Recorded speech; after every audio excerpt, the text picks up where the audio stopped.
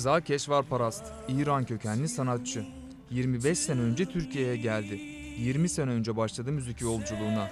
O müziğe aşık bir sanatçı. Pop, Latin, klasik, Alaturka, türkü gibi birçok tarzda müziğe gönül verdi. Sesini daha çok insana duyurmaktı amacı. Bu amaç için O Ses Türkiye yarışmasına katıldı. O Ses Türkiye ile sesini, yeteneğini duyurdu. Yarışmayla tüm hayatı değişti, amacına ulaşmıştı. Onu artık herkes tanıyordu. Sesi daha çok insanla buluşuyordu. Peki yarışmadan sonra hayatında neler değişti? Müzikle ilgili nasıl planlar yapıyor? Bundan sonraki projeleri neler? Everything I do. Muhteşem sesi ve yorumuyla Reza Keşvarparast şimdi bir kadın bir hayatta. Yeah.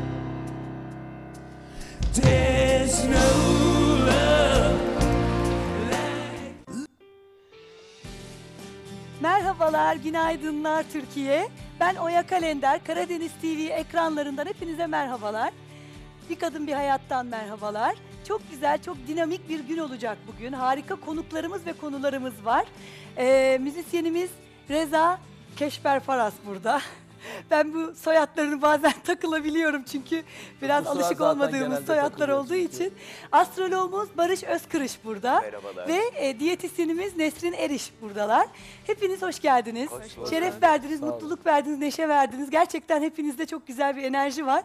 Böyle bir alışveriş oluyor e, geldiğinizden beri. Teşekkür ederim. E, ilk önce e, bir ufak tanıyalım Reza Bey'i. Sonrasında detaylı yine muhabbetimize devam ederiz. Şimdi e, Reza Bey isminizden de anlaşıldığı üzere İranlı mısınız, Azeri misiniz? Ee, ben anne tarafı Azeriyim. Ee, hatta annemin babası Bakülü. Sonra e, Urumiye'ye e, göç edip oradan e, Horasan'a kadar devam etmişler. İran Horasan'ı Meşet. Ee, yaşam hikayesi. Nasıl oldu geldiniz Baba buraya? tarafı Tahran. Evet. Siz ne zaman geldiniz Türkiye'ye? Ee, yaklaşık 28 sene önce. Ne getirdi sizi buraya?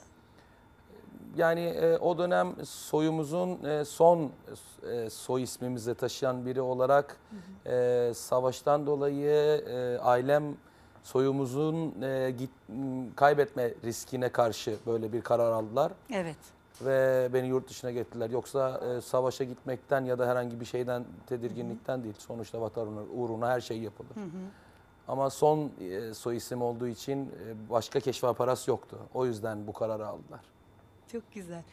Biz sizi e, O Ses Türkiye'de gördük değil mi? Evet. Çok da dikkatini çektiniz izleyicilerin. E, çok e, çünkü gerçekten akıllarda kalmışsınız. Ben bunu e, anladım.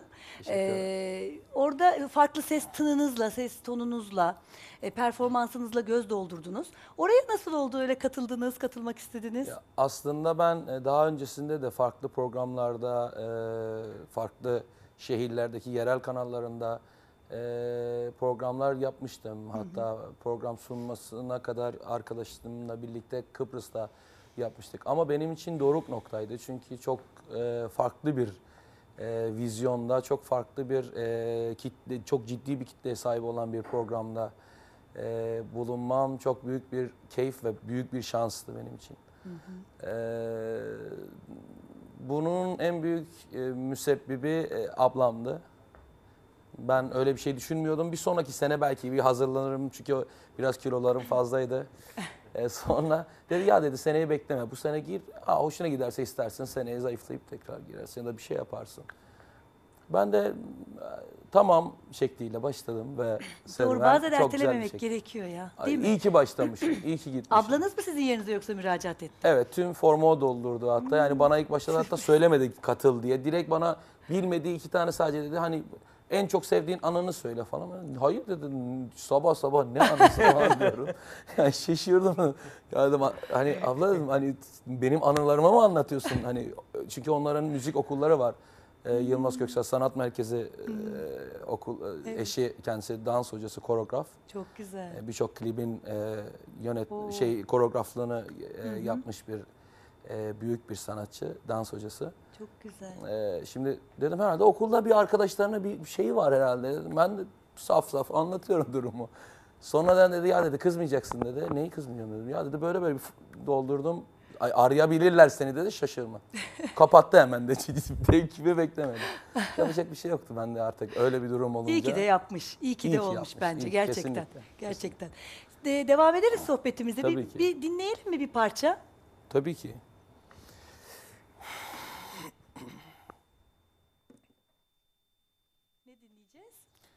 Ya bir eğer arzu ederseniz bir tane Türkçe güzel bir şarkı söyleyelim. Olur. Bir Tabii. sabah Evet. güzel bir Teşekkürler.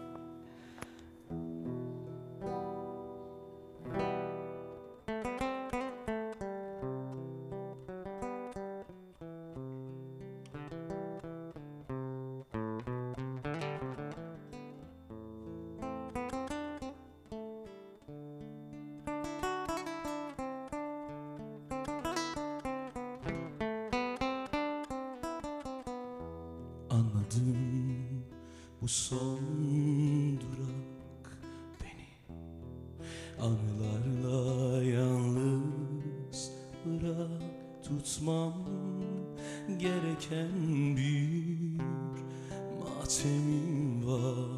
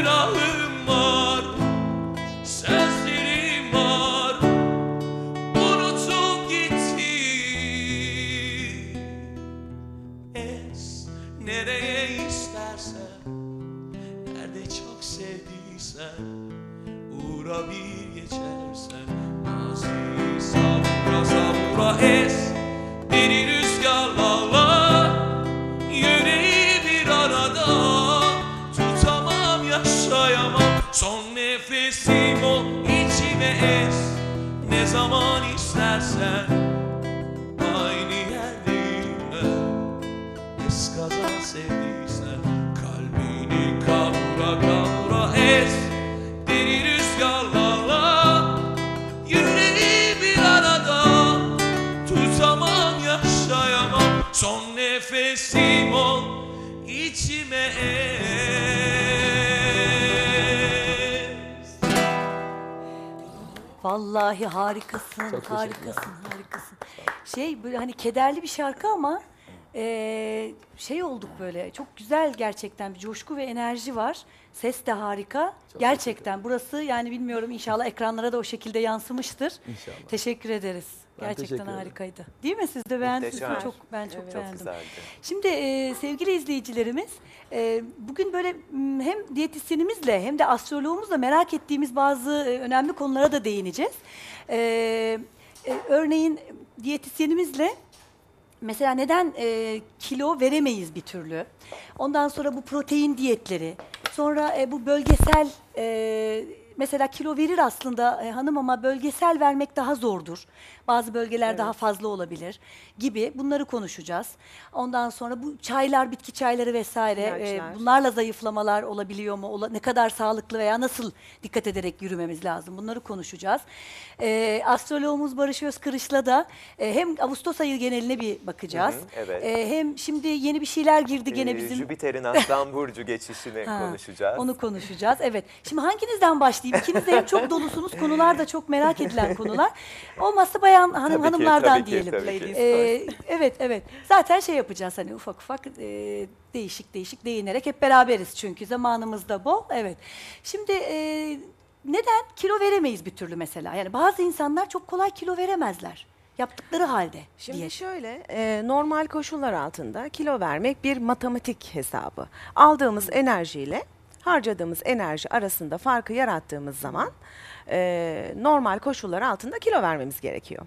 Şimdi e, bazı sağlık problemleri, metabolik bir takım sağlık problemleri kilo vermeyi engeller. Özellikle insülin direnci ve reaktif hipoglisemisi olan bireyler ki bu e, kişi bunu bilmeyebilir. E, çok çabuk ortaya çıkan bir şey değildir. Mesela kan şekerine bakar hiçbir sıkıntı yok. Açlık insülinine de bakar hiçbir sıkıntı yok. E, ortada e, bir yükleme olmadığı takdirde bunun e, ortaya çıkması zordur. Ama bir HOMA-IR indeksi dediğimiz bir e, farklı bir indeks var. Bunu e, biz hesapladığımızda iki buçuğun üzerinde çıkıyorsa bu kişide insülin direnci vardır ve bu kişi e, istediği kadar diyet yapsın. Çılgın gibi aktivitesini artırsın. Allah. Kilo vermekte zorlanır.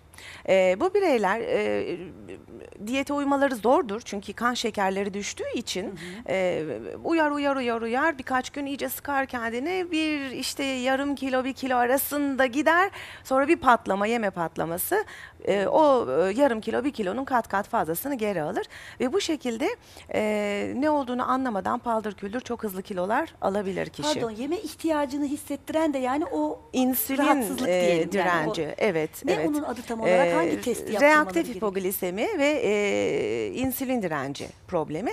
Diyabet öncesinde insülin direnci, reaktif hipoglisemi, prediyabet ve diyabet. Bütün diyabetik bireyler bu üç aşamadan zaten geçerler. E, açlık kan şekeri, açlık insülini bakılıp bunun özel bir formülü var. HOMA-IR formülü. Bu formül sonucunda iki buçuğun altında çıkması lazım ama formül olmadan da HOMA-IR'ye baktırılırsa e, laboratuvar bu sonucu zaten verir. Onun dışında da bir şeker yüklemesi yapılması lazım bireye ki bizim vereceğimiz karbonhidrat miktarını ve kişinin öğün saat aralığını belirleyebilelim. Normal bir bireyde açlık süresi yemek yedikten itibaren 4 saattir. Ama insülin direnci, reaktif hipoglisemisi olan bireylerde bu 4 saat 2-2,5 saate düşüyor. Yani bu kişiler 2-2,5 saatte bir besin tüketimi özellikle kompleks karbonhidrat tüketimi yapmaz ise e, hipoglisemiyle e, aşırı bir tatlı isteği veya hamur işi isteği bu kişiden kişiye göre değişmekle birlikte özellikle saat 4'ten 5'ten sonra başlayan bir yemek yeme isteği tatlı, tuzlu, acı, ekşi artık her şey. Ondan sonra gece yatana kadar ilerleyen sürecinde e, yattıktan sonra gece kalkıp yemek. kalkıp yemek yeme. Ya. Açlık e, şeyde kan şekeri düştüğü için acıkarak kalkar ve e, yemek yer bu bireyler. Bu ilerlemiş düzeydir ve e, verilen bireysel beslenme programında e, sıfır açlık, sıfır tatlı isteği ve gece kalkma sıfırlanması gerekiyor. Bu şekilde kişileri beslenme programında takip ediyoruz. Anladım. Yani demek ki e, dediğiniz gibi bazı şeyler gözden eğer kaçırılıyorsa tahlillerde Evet. Yani bu tür da belirtiler varsa e, aşırı yemek yeme isteği, aşırı tatlı isteği, Hmm. özellikle 4'ten 5'ten sonra bu isteklerin artması, e, aktiviteyi artırmaya rağmen ve belli bir süre yemek yemeyi kesmeye rağmen çok stres yaşayarak keser bu bireyler. Eğer Hmm. böyle problemler yaşıyorlarsa özellikle bir insülin direnci, reaktif hipoglisemi bakılması gerekiyor ki yolumuz açılsın. Çünkü boşa kürek çekmek gibi bir şeydir. Anladım. O sorunlar ortadan o zaman onlarda tedavi şey mi Tabii, oluyor? tabii. İlaç tedavisiyle Ee, mi tıbbi peki? beslenme tedavisiyle yüzde 85 oranında biz bunu çözüyoruz. Ama eğer gerekiyorsa e, yine bir tıbbi tedavi, ilaç tedavisi artı tıbbi beslenme tedavisiyle devamını Ha, yani yapıyoruz. ilk önce ilaçtan önce siz beslenme Tabii, tabii, şekliyle tabii. bunu amaç başlamamak, ilaca Çok güzel. başlamamak. Kişi ilaç kullanıyorsa ilacı kesmek ve e, optimum yaşam kalitesini kişi o birey için kurarak e, sürdürülebilir bir program oluşturmak. Amacımız bu. Tabii amaç o ama eğer gerekirse çok mecbur kalırsa Çok da gerekirse tabii yani gerekirse doktor kontrolünde ilaç. ilaç, başlanır ve belli bir süre sonra zaten kişinin insülin direncindeki düzelmeyi e, net bir şekilde görebiliyorsunuz haftalar içerisinde. Otomatikman ilacın kesilmesi söz konusu oluyor. Yine doktor kontrolünde ilacın da kesimi sağlanıyor. Evet. E, bu demek ki yani bu neden e, çok kolay kilo veremiyoruz diyet Bazı yaptığımız halde evet, bu bu Ee, cevabı yani bu. bize gelen kişilerin yüzde 85'i hiçbir şey yemiyorum ve sürekli spor yapıyorum. Neden kilo Evet veremiyorum? çok ben de duyuyorum diye gelir. etrafımdan öyle Ee, söyleyen su e, içsem arkadaşlar yarıyor oluyor. e, olayıdır evet, ama su içsem aslında yarıyor bu filan. kişiler çok az yemiyorlar. Ee, evet yemedikleri bir süreç var ama ondan sonra bir iyice yeme patlaması, e, aşırı bir besin tüketimi söz konusu. Yemedikleri zamanda da zaten kan şekeri düştüğü zaman e, kan şekerinin düşmesi de şu demek zaten. E, e, kandaki şekeri insülin hormonunun alıp metabolizmada kullanamadan ki o normal bir yol değil. insülin Yakmadan hormonu, yani tabii, yakamıyor tabii. Onu hiçbir metabolizmada. şekilde yakamaz. Alıp bu bölgeye özellikle Depoluyor. insülin direnci bölgesi bu bölgedir. Ee, aç kaldığı zaman bile kişide yağ depolaması meydana gelir. Evet. Hem açsınız hem yağ depoluyorsunuz. Onun akabinde yediğiniz şeyler de yağ depolanmasına neden oluyor. Böyle e, ironik bir kısır Ya, döngü içerisine giriyorsunuz. Biz bu kısır döngüyü tersine çeviriyoruz. İhmal etmesinler o zaman. Yani Evet. e, diyetisyenlere aslında gitmek Tabii, lazım tabii, tabii. e, beslenme uzmanları. Sonuçta çünkü birçok diyetisyen de zaten bu yolu izleyerek bir Tabii, tespitte tabii, bulunuyor tabii. en Bireysel başta değil mi? beslenme. pro- Öncelikle zaten kan değerlerine bakmamızın en önemli nedeni bu. Kişide bir takım sağlık sorunları varsa önce onları çözelim. Çünkü bizim için önemli olan kişi zaten kilo problemiyle geliyor bize. Akut problem ne? Kilo vermesini engelleyen veya kilo almasına Tabii, tabii. neden Kilit olan ne var? Kilitte ne var? Kilidi çözelim. Çünkü biz hiçbir zaman nedeni değiştirmediğimiz takdirde Evet. sonucu değiştiremeyiz. Sonucu değiştirmek odaklı olmak Tabii, her zaman için tabii. sonuç Her e, şeyde öyledir e, yani. tabii. İlk önce bataklığı Bütün kurutmak lazım olaylarda, sineklerin evet. yok olması için. e, gibi. Nedeni bulacağız, Nedeni çözeceğiz. bulmak ve çözümü üretmek Sonuç lazım. otomatikman değişiyor Tamam, zaten. Bir şey doğrudur. yapmamıza gerek Biz kalmıyor. küçük bir ara verelim. Teşekkür ederiz. Zaten devam edeceğiz sohbetimize. Bir minik ara verip gelelim gene.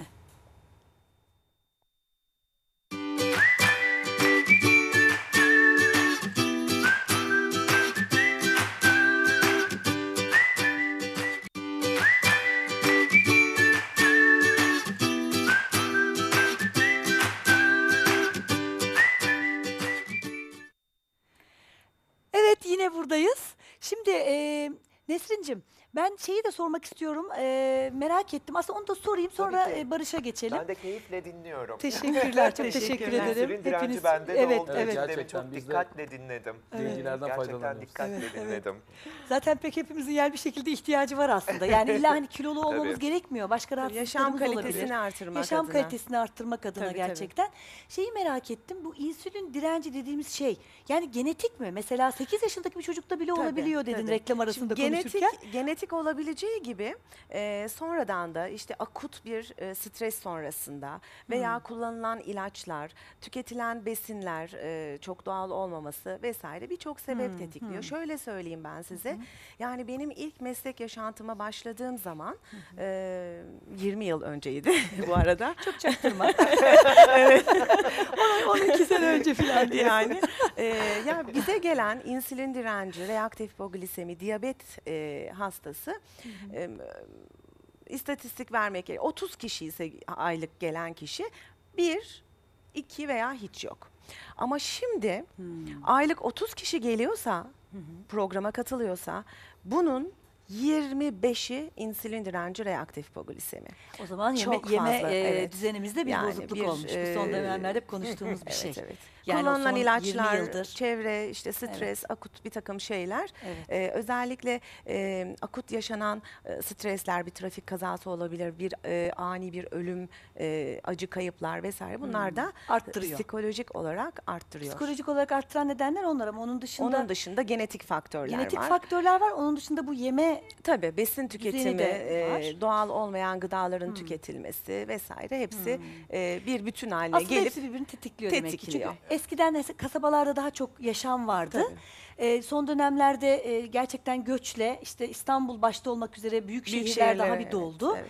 Ee, dolayısıyla hani o stres faktörleri de belki tetikliyor dediğin tetikliyor. gibi. Hepsi Evet, birbirini evet, tetikliyor. evet, evet. Ama ailede anne ve babada var vesaire. ama zaten Hiç genetik. kimsede olmayabilir. Ee, ama olması kuvvetle muhtemeldir. Hem annede hem babada olması yüzde seksen bizim için genetik araştırılması gereken bir faktör. Hepsini Evet. değerlendirmek lazım. En basiti o zaman şöyle diyelim mi yani özet e, benim anladığım ama başka bir şey de var mı bilmiyorum. Yani neden diyet yaptığımız halde ve gerçekten egzersiz yaptığımız halde kilo veremiyoruz diye şüphelendiğimizde e, tahlillerde bunlara baktırıyoruz. Bunlara baktırmamız lazım. Bir de diğer bir faktör tiroiddir özellikle. Ama tiroid problemi ortaya çıkartılıp e, doğru ilaç dozu ve tıbbi tedaviyle takip edildiği takdirde hiçbir O daha şey kolay mı yapmaz. çözülür öbürüne Hiçbir göre? şey yapmaz bize. Yeter ki e, ortaya çıksın. Tespit edelim. Ve doğru ilaç dozuyla, doğru şekilde tıbbi tedaviyle takip edilsin. Bize hiçbir şey yapmaz. Gayet rahatlıkla kilo vermemizi sağlar. Süper. O zaman bir de tiroide baktıracağız. Peki e, bu, Evet. bu, En önemli evet evet yani bu yıldızların etkileri e, bu yaşamımızdaki inişler çıkışlar bunları biraz önceden kestirebiliyoruz astrolojinin yardımıyla. Ee, Tedbir alabiliriz. Öngörebiliyoruz diyelim. Tabii mutlaklık dememiz mümkün değil. Bunu hemen Tabii. altını çizerek söyleyeyim ancak geleceği Allah bilir hep söylediğim gibi. Ama e, olasılıkları, trendleri tahmin etmek gibi aynen ekonomideki gibi. Mesela bu sene sizin haritanızdaki fırsatlar ve tehditler neler olabilir ve buna göre nasıl önlem almanız gerekiyor? Bunları söyleyebiliyoruz ama tabii ki mutlaklıktan bahsedemiyoruz bence. Tabii canım yani sonuçta herkesin kaderini etkileyen e, yan faktörler var ve herkes de aynı olabilir mi? Olamaz. Tabii Belki ki. çok özel ama e, kişisel harita çıkarttığınız zaman o Ee, olabildiğince çok isabet özel oluyor. bilgiler çıkıyor o zaman. Onu- evet. evet, onu yani ben de çok biliyorum. kişiye özgü. Zaten hep söylüyorum doğum haritası esas aslında burçlar çok genel. Tabii. 12 tip üzerinden giderek bir şeyleri anlatıyor. Ama haritaya geldiğiniz zaman sayısız kombinasyon var. Çünkü 12 tane ev kullanıyoruz. 10 tane gezegen kullanıyoruz ve 12 tane burç kullanıyoruz. Bunların matematiksel olarak kombinasyonu on binlerce olasılığa götürüyor bizi bir haritayla ilgili.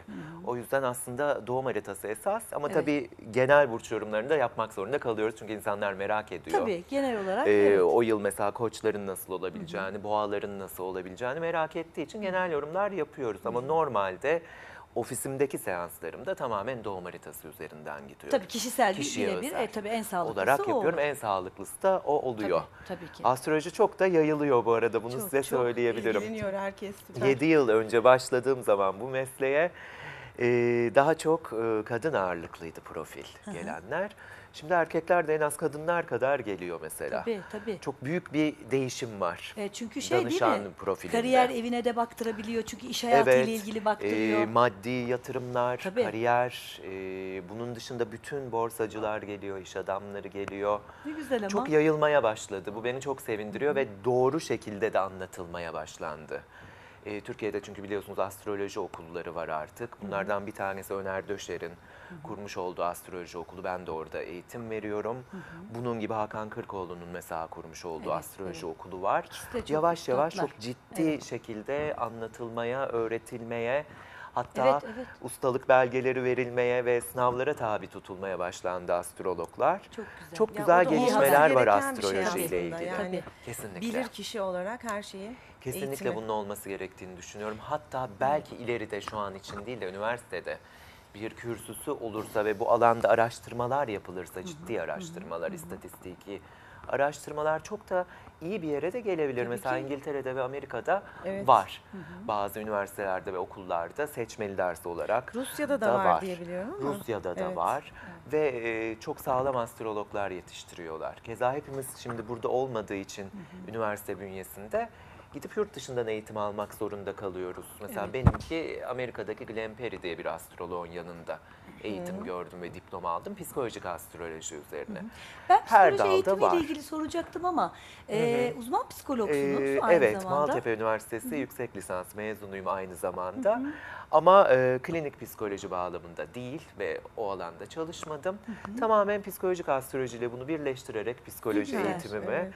Hem eğitmenlik yapıyorum bu konuda hem danışmanlık. Evet, evet, Bir evet. yandan araştırmalar yapıyorum. Çok yakında bir kitabımız piyasada olacak. Uluslararası bir kitap. İkiz çocuklarla ilgili bir araştırma yaptım. Beş Oo. astrolog yazdık. Çok Ee, güzel. Üç tebrik tanesi yabancı. Öner Döşer'le ben varım. Tebrik yerli ediyorum. astrolog Ne olarak. zaman çıkacak kitap? Ee, Eylül gibi çıkması gerekiyor Biz aşağı tekrar yukarı. sizi bir konuk üzere. alırız eğer Tabii ki. gelebilirseniz. Eylül olur, Ekim olur. Kitap Çok iddialı bir sonra. konu çünkü aynı harita ve farklı hayat. İkiz çocukları inceledim. Evet, evet. Bir, bir daha bir alırız çünkü Tabii bir- ki, bizim zevkle e, ikiz ve üçüz çocuklarla ilgili bir dernek kurmuş arkadaşım da var. Aa mükemmel Ee, olur bir o da arada e, hem bir gelebilirsek. öğretim görevlisi e, kendisi hem de bu konuyla ilgili bir dernek kurdu. Çünkü bu çoğul e, hani gebeliklerle ilgili ya da çoğul çocuk sahibi olan ebeveynlerle alakalı ve o çocukların durumuyla alakalı çok güzel bir program yapabiliriz. Mükemmel olur. Ölçtürebiliriz, Benim harika için de olur. çok besleyici Çok olur. besleyici olur. Çok güzel olur Gerçekten. Yapalım, yapalım tamam. onu. Eylül'de Ee, buradayım peki, o zaman. Barış Özkırış e, yani böyle bir eğitim noktasında çok dolusunuz. E, bir de böyle bir e, Ezgi bahsetti. E, yani bence siz anlatın. Ben Evet, yanlış evet, bir şey evet. söylemeyeyim. Neler yapıyorsunuz? Şöyle bir çalışmam da var. Ee, Bu aslında hobi bazındayken başka bir alana taşındı diyelim müzikle ilgili. Ee, şarkı yazıyorum. Belirli bir süredir şarkı sözleri yazıyorum. Ee, ve çok sevgili dostum Meltem Taşkıran, müzisyen arkadaşım. Besteledi bu şarkıları ve yine Eylül gibi muhtemelen bir aksilik olmazsa bir tane de maxi single bakalım. çıkartıyoruz. Ya, Hobim de o benim çok uzun yıllardan beri e, çok seviyorum çünkü müzikle uğraşmayı. Ama yine muhtemelen yani hobi bazının çok çok üstüne gideceğimi düşünmüyorum. Çünkü astrolojiyi çok seviyorum. Bu işi yapmak istiyorum her koşulda. Danışmanlığı, eğitmenliği aksatmak istemiyorum. evet. Ama hobim böyle bir yan Tabii mesleğe dönüştü şey. diyebiliriz. Tabii ki. Uzun yıllar Ee, sonra. Biz geçen gün de bir konuklarımız vardı burada. Ee, yani şeyi konuştuk. Ee, müzik zaten e, gerçekten her baba yiğidin harcı değil. Yani bizim ülkemizde aslında e, hani böyle gerekli değer ona e, yeterince verilmiyor. E, çünkü öneminin farkında olamıyoruz. Kesinlikle, doğru. Bazen bir hani tabii ki matematik adamı da değerli. Tabii ki tıp, tabii ki hukuk. Biz bunlar Tabii. değersiz demiyorum. Ama demek istediğim şu. E, müzik de çok özel kabiliyet ve e, özen ve ihtimam isteyen bir istiyor, şey. üzerine ilgi istiyor. Yani hem kabiliyetiniz olacak, Çok doğru. öyle değil mi? Yani En önemlisi nedir biliyor musunuz? Benim başlangıç noktam en doğal terapi yöntemi bence. Müzik için her zaman bunu söylüyorum. Yani Kesinlikle, ben de aynı. ve benim çok e, olumsuz bir dönemimde başlamıştım. Bir majör depresyon ve panik atak tedavisi gördüğüm bir dönemde. E, şan derslerine başladım ve iyileş, iyileşmemde çok büyük katkısı oldu. Çok ciddi anlamda yani bir ilaç kadar katkısı oldu Aynı hatta şeyi daha ben fazla belki de. Yani hayatımda birçok e, sıkıntılar, birçok badireler at- atlattım ama eğer e, hayatımda sanat olmasaydı, o sıkıntıların döneminde e, gidip de sahneyle onları paylaşmasaydım, gitarım yanında olmasaydı belki şu anda bir tümarhanede bile olabilirdim. O derecede Ya. e, travmalar Sesin yaşadım. büyüsü. gerçekten, Müthiş. gerçekten. Çünkü şarkı söylerken siz de bilirsiniz beyin e, bir yandan mutluluk hormonları salgılamaya başlıyor. Serotonin gibi mesela. Evet, evet, evet. Ana yeni- odaklanıyorsunuz ve iyileşiyorsunuz. Beynin Gerçekten çok kötü bir dönemimdeydim. bir. Müzik atölyesine gitmeye başladığımda ve beni Alfa. yavaş yavaş o kötü dönemden dışarıya doğru çıkarttı. Gerçekten öyle. Şimdi ben de borcumu ödüyorum müziğe bir çalışma güzel. yaparak. Vallahi adeta süper, ben de borcumu ödüyorum diyebilirim. Maşallah, harikasınız. Ama astrolojiye devam edeceğim Güzel. tabii bırakmayı E, düşünmüyorum astrolojiye kesinlikle. peki ufaktan bir e, girelim o zaman. Tabii ki, hani, e, tabii. bizim e, izleyicilerimiz de. Tabii. E, öncelikle bu e, şey etkisini konuşalım. Yani daha sonra diğer partlarda tek tek burçlar yorumuna da Tabii, geçeriz. tabii, Ağustos tabii. ayı burç yorumu yapacağız değil mi? Evet, evet, E, Ağustos ama ayı. öncelikle şu ne etkisiydi? Jüpiter etkisi. mi? Jüpiter etkisi. Herkesin merakla beklediği bir etki. Neden dersek Jüpiter sistemimizdeki en büyük gezegen ve sembolizm olarak bereket, bolluk, genişleme ve iyi şansla eşleştirilmiş ki zaten astroloji bir sembolleri okuma sanatı. Aslında bir sembolizm üzerinden gidiyoruz. Aslana geçişi demek tabii başta aslanlar olmak üzere ateş burçlarını yani aslan, yay ve koç burçlarını ve yükseleni buralarda olanları çok olumlu bir dönem bekliyor demek sembolik olarak. Özellikle aslan burçlarına baktığımız zaman koç burcu mükemmel. Mesela sizin doğrudan yükselen aslan olduğu için birinci evden Jüpiter geçişi dediğimiz durum var. Bu biraz kilo aldırabilir. Dikkat etmeniz gerekiyor. Ama onun dışında bir sürü yeni gelişim, yeni başlangıçlar, kişisel gelişim ve önümüzdeki senede size para geliyor demek. Çünkü para eviniz Başak Burcu oluyor ikinci eviniz ve Jüpiter seneye Başak Burcu'nda olacak. Sizin için güzel haber. Teşekkür ederim. Tek tek bakarız birazdan ama genel olarak ateş burçlarını iyi bir dönemin başladığını söyleyebiliriz. Güzel bir döneme doğru geçiyorlar. Ve tabii onun kardeş elementi olan hava burçları yani kova, ikizler ve terazi. Yine olumlu açılar alacaklar Jüpiter'den. Kova burcu bir karşıt açı alacak ama bu karşıt açıda Jüpiter'de biz severiz. Yine kovayı genişlemeye ve ilerlemeye doğru itecek diye düşünüyorum. Genel olarak ateş burçlarının ve hava burçlarının rahatlayacağı bir döneme giriyoruz. Ne, ne zamana kadar bu etki? Ee, yaklaşık bir yıllık bir etki önümüzdeki Ağustos'a kadar, 2015'in Ağustos'una kadar yaklaşık bir yıllık bir etki. Yengeç burcunu terk etti. Önceden Yengeç burcundaydı. Türkiye'nin yükseleni Yengeç burcuydu. Ee, Türkiye'nin yükseleninden geçti. Türkiye haritasının da şimdi para evine doğru gelmekte Jüpiter. Yani ekonomik olarak belki rahatlayacağı bir dönemi anlatıyor. İnşallah. İnşallah daha iyi bir dönem. Çünkü çok zorlu dönemlerden tabii ki geçtik. Türkiye haritasına baktığımız zaman da e, dördüncü ev toprakları, madenleri ve çiftçileri anlatır. Oradan bir Mars geçişi oldu. Aralık ayında başladı. Daha yeni bitti Temmuz ayının sonunda. Ve bu Mars'ın geri harekette olduğu dönem Mart, Nisan ve Mayıs aylarıydı ve biliyorsunuz çok tatsız bir kaza yaşadık Soma Soma'da. faciasını yaşadık. Evet. Yani astrolojik olarak a- aslında bu tarz şeyleri öngörebiliyorsunuz. Çünkü bütün sembolizm belli. Bir nevi ben e, Matrix diyorum hani o filmdeki gibi bir yazılım gibi adeta. Gerçekten çünkü dördüncü ev bir ülke haritasında toprak, maden ve kökleri anlatır. Mars geçişi de kazaları anlatır ve Mars'ın geri hareketi orada bir kaza olacağını Beklenen bir şeydir. Yani adeta tabii, tabii, bir tabii, yazılımın içinde yaşıyoruz tabii. ve o yazılımı okuyoruz. Doğru. Bunu söyleyebilirim astroloji ile ilgili olarak. Hak- Hakikaten Türkiye haritasında da belliydi. Ama tabii ülkeler astrologlarla çalışmadıkları için devletler yurt dışında nasıl bilmiyorum ama hep bu tarz astrolojinin söyledikleri göz ardı edildiği için bazı önlemleri çok fazla almıyoruz diye düşünüyorum. Özel hayatlarımızda da bu böyle. Evet. Bazen görüyoruz ama önlem almıyoruz bazı durumlarda. Doğru. E, Gerçi şey açısından güldüm ben. E, bilmiyorum ki yani devlet olarak çalışsak hani hükümetler çalışıyor olsa acaba Türkiye'de ne kadar önlem alabiliriz ki? Yani O da doğru. Bir e, yandan kader biraz- değiştirilmiyor değil mi? Ya hayır kader o açıdan da evet haklısınız.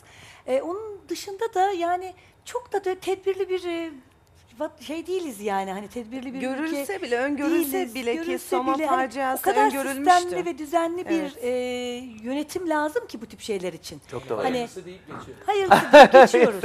E, çünkü bazı şeylerde de Olmaz yaşanan deyip kazalarda geçiyoruz. da zaten kaza geliyorum diyor. Tabii. Dediği halde o yaşanıyor mesela. Özel hayatımızda da bu böyle. Mesela bana gelen kişilerle çalışmaya başladığım zaman Evet.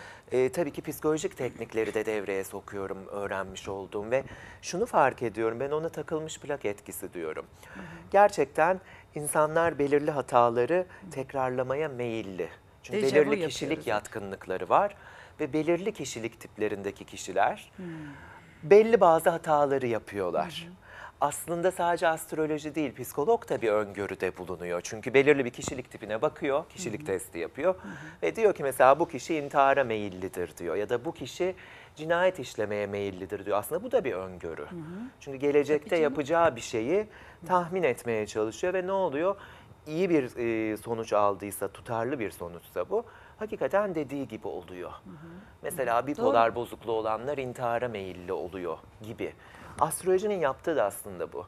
Belirli bir sembolizm var ve bu sembolizm önceki olaylarda bu sonucu vermiştir. Tabii. Bu olayda da bu sonucu verebilir diyor tam olarak. Ama özel hayatımızda da bunu ne kadar uyguluyoruz? Kendi haritama da ben mesela 6 ayda bir bakanlardanım. Hatta bazen üstüne gidenlerdenim. Çok enteresan bir astroloğum bu konuda. Mesela Merkür geri giderken imza atabilirim ya da seyahate Aa. çıkabilirim. Ben atmam.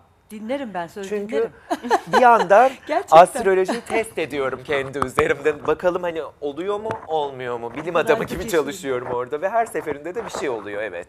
Bir aksilik oluyor denediğimde böylece onaylamış oluyorum. Bu da güzeldi. Kendimi kobay olarak kullanıyorum astroloji yani büyük bir alanında. fedakarlık. Tabii Evet. bakıyorum Yani bakalım ne insanlar için olacak Bunu diye. yapmak ke- kendi başınıza ben denemek- dinlerim. Ben söz dinlerim. Siz demek ki iyi çalışacağım Vallahi, danışan tipisiniz. Evet evet çalışabiliriz. E, yani e, astrolojiyi de dinlerim. Gerçekten de şu şu dönemlerde kesinlikle imza atmayın diyorsa imza atmam. Şunu yapmayın diyorsa yapmam. Dikkat ederim yani. E, olabildiğince tabii. Tabii ki. Bazen işte şöyle şeyler olur. Şunu işte tırmandırmayın dostlarınızla işte belki hani şey görülür ya. Evet, işte gerginlik olabilir, gereksiz girmeyin. tartışma. Mesela yani işte komşumla, kardeşimle Mesela falan çok yazar. iyi bildiğimiz hepimizin Merkür gerileme dönemleri yani Merkür retro dönemleri artık herkes biliyor aşağı yukarı. Orada mesela gereksiz tartışmalara girmemek gerekir. Onu da şeyde atlattık değil mi? Nisan ayında atlattık. Evet, Öyle bir şey. Nisan, ayında. Mayıs mıydı? Öyle bir İlkbahar şeydi. ayları çok sert Evet, geçti. ha, sert yani geçti. bütün dünyada sadece Türkiye'de de değil astrolojik olarak çok sertti Nisan Mayıs ayları. Evet, evet. Mart'tan başlayarak her yerde bir şeyler oldu aslında ve etkileri hala devam ediyor. Ee, Temmuz ayı da sert bir aydı. Baktığımız zaman gökyüzüne bizim büyük kare dediğimiz bir açık kalıbı Evet o var. kareden kurtulamadık mı hala? Ee, kurtulduk. Ama Temmuz ayında çok etkindi. Evet. Ve Temmuz ayındaki Dolunay da çok etkindi ve tam işte o civarda maalesef Gazze'deki olaylar Evet, başladı. evet, patlak verdi. Çok yine tatsız olaylar başladı. Adeta e, çok Helenistik dönemdeki deyişle yukarıda ne varsa aşağıda da o vardır deniyor. Yani matruşka bebekler gibi yukarıda olanla aşağıda olan birbirini yansıtır. Evet. Yukarısı da mı karışık yani evren gökyüzü? Orası karmaşık olunca, oradaki yerleşimler zorlayıcı olunca, açılar diyoruz biz bunlara. Zorlayıcı açılar olduğu zaman Evet. burada da bir şeyler olmaya başlıyor. Tabii. Aslında çünkü biz kainattan kopuk yaşamıyoruz. Tabii ki. Biz kainatın içinde yaşıyoruz. Yani hani insan burada duruyor, kainat orada değil. İç içeyiz. Hatta belki biliyorsunuz insanların da gezegenlerle aslında aynı enerjiden yaratıldığı da söyleniyor artık. Yıldız Kuantum tozundan fiziğinde- Hayır, Hayır yaratıldığı neden da olmasın ki bir de söyleniyor. yani bazen e, şey olur. Ben şöyle düşünüyorum. E, bizler insanoğlu olarak aslında çok akıllı olduğumuzu zannederiz ve e, deriz ki şey mesela bazı şeyler yeni keşfedilmiştir ya da e, Allah'tan gelen kitap olduğuna inanıyoruz. Kur'an'da yazıyordur. Mesela aa o Kur'an'da yazıyor mu? Hayır sen zaten aciz bir kul olarak zaten sen bunu öğrenmişsin. Sonuçta bunu Allah zaten hani zamanında yazmış. Aslında hani komik bir soru bence bu. Evet. Şimdi aynı onun gibi hani neden olmasın ki onun için söyledim. Biz zaten bir kere bir enerjiyiz. Evet. Şimdi e, bunları hep zaman yani zamanla öğrendik aslında. Şimdi mesela değil mi? E, Bilmeyenler de vardır yine şu anda Evet. ama diyelim ki işte ben de 20 sene önce bilmiyordum, işte 10 sene önce bilmiyordum, şimdi öğrendim gibi. Evet. Biz zaten bir enerjiyiz.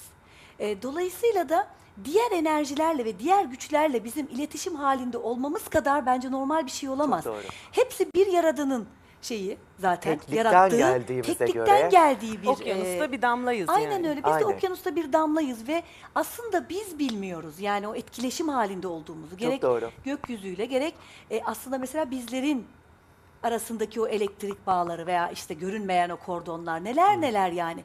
Ama insan duyunca şey yapıyor yani genelde insanlarımız yok canım öyle şey olmaz falan deyip Evet. geçiyoruz. Ama değil yani hani zannediyoruz ki her Özellikle şey de gözümüzle gördüğümüzle sınırlı. Astrolojiye gelen eleştiriler arasında da bu var. Evet. Çok okuyorum bu eleştiriyi. Diyor ki mesela Mars'ın etkisi ne kadar olabilir ki uzaktan?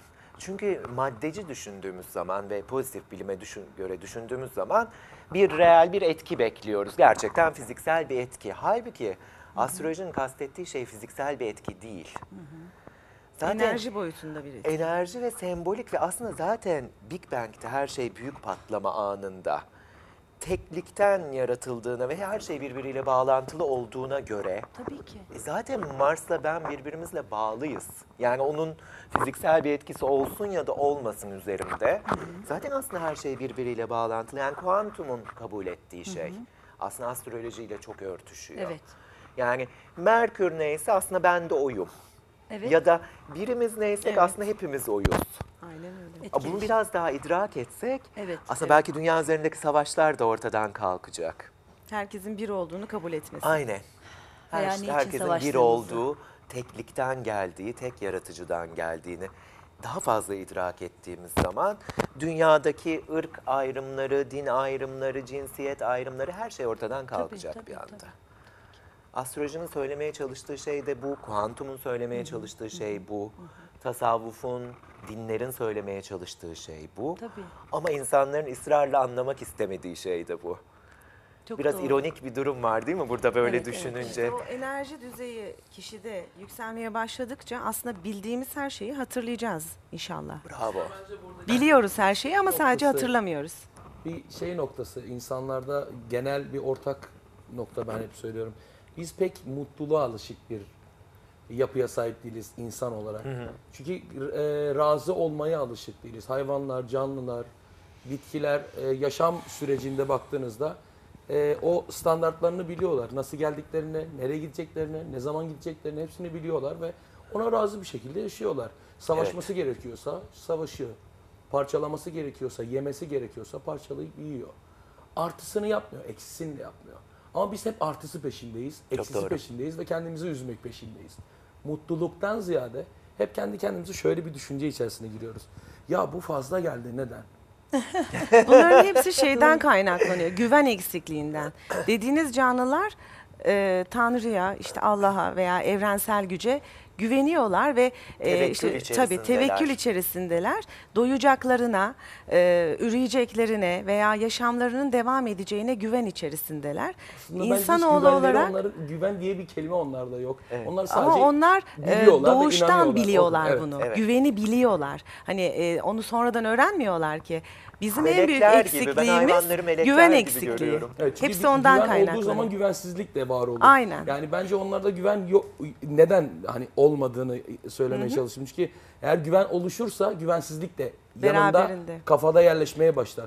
Onlarda sadece Onlar bu inanç var. duyguyu biliyorlar. Güven Evet. ve Sadece Tevekkülle biliyorlar. doğuyorlar. Evet. Özgür iradeleri yok. Aynen. Melekler gibi aslında özgür Evet, irade verilmemiş kesinlikle, ama O tevekküle sahipler. Ve en çok da ölüm anlarında çok kedim de oldu. Hayvanları da çok severim ve tevekkülü görüyorum onların ölümünde. Mesela insanların çoğunda olmayan bir tevekkül.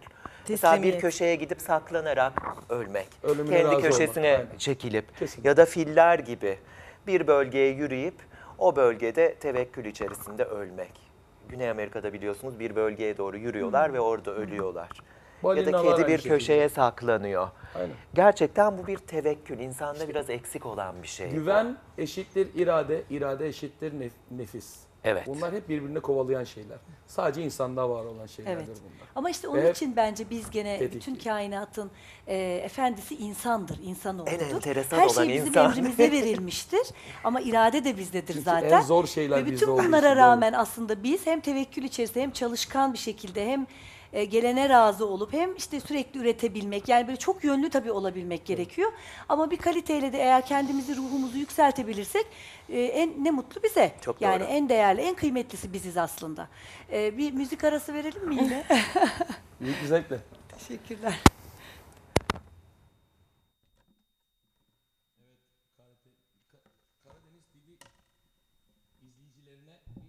Karadeniz türküsü söyleyelim mi?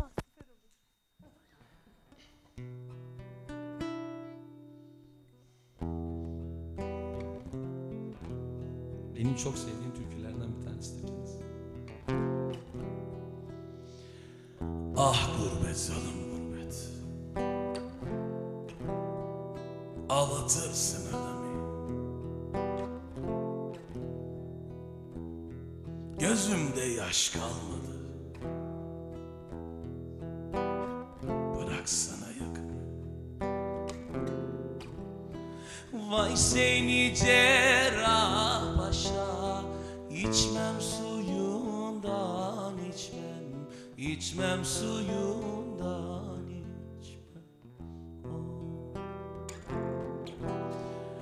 Oy seni cerrah paşa içmem suyundan içmem içmem içmem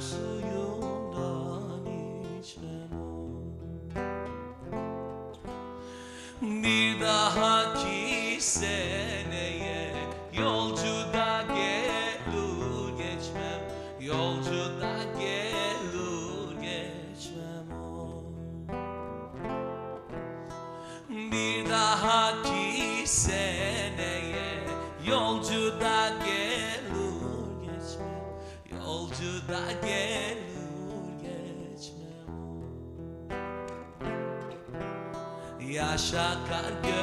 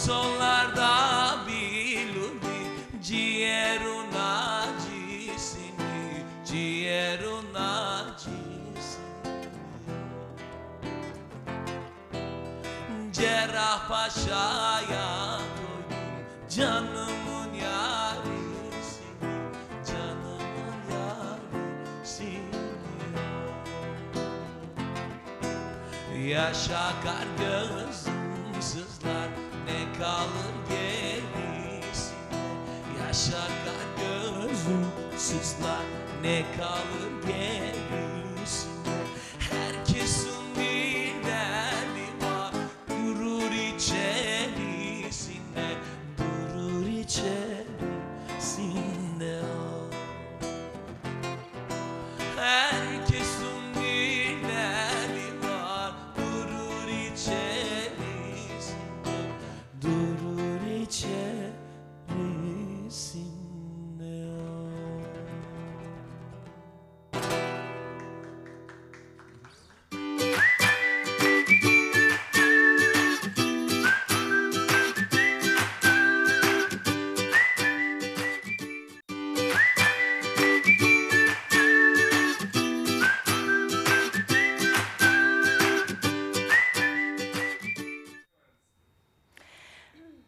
çok teşekkür ederiz. Demin burada duygulandık da ee, bu Volkan Konağ'ın bestesiydi değil mi? Evet.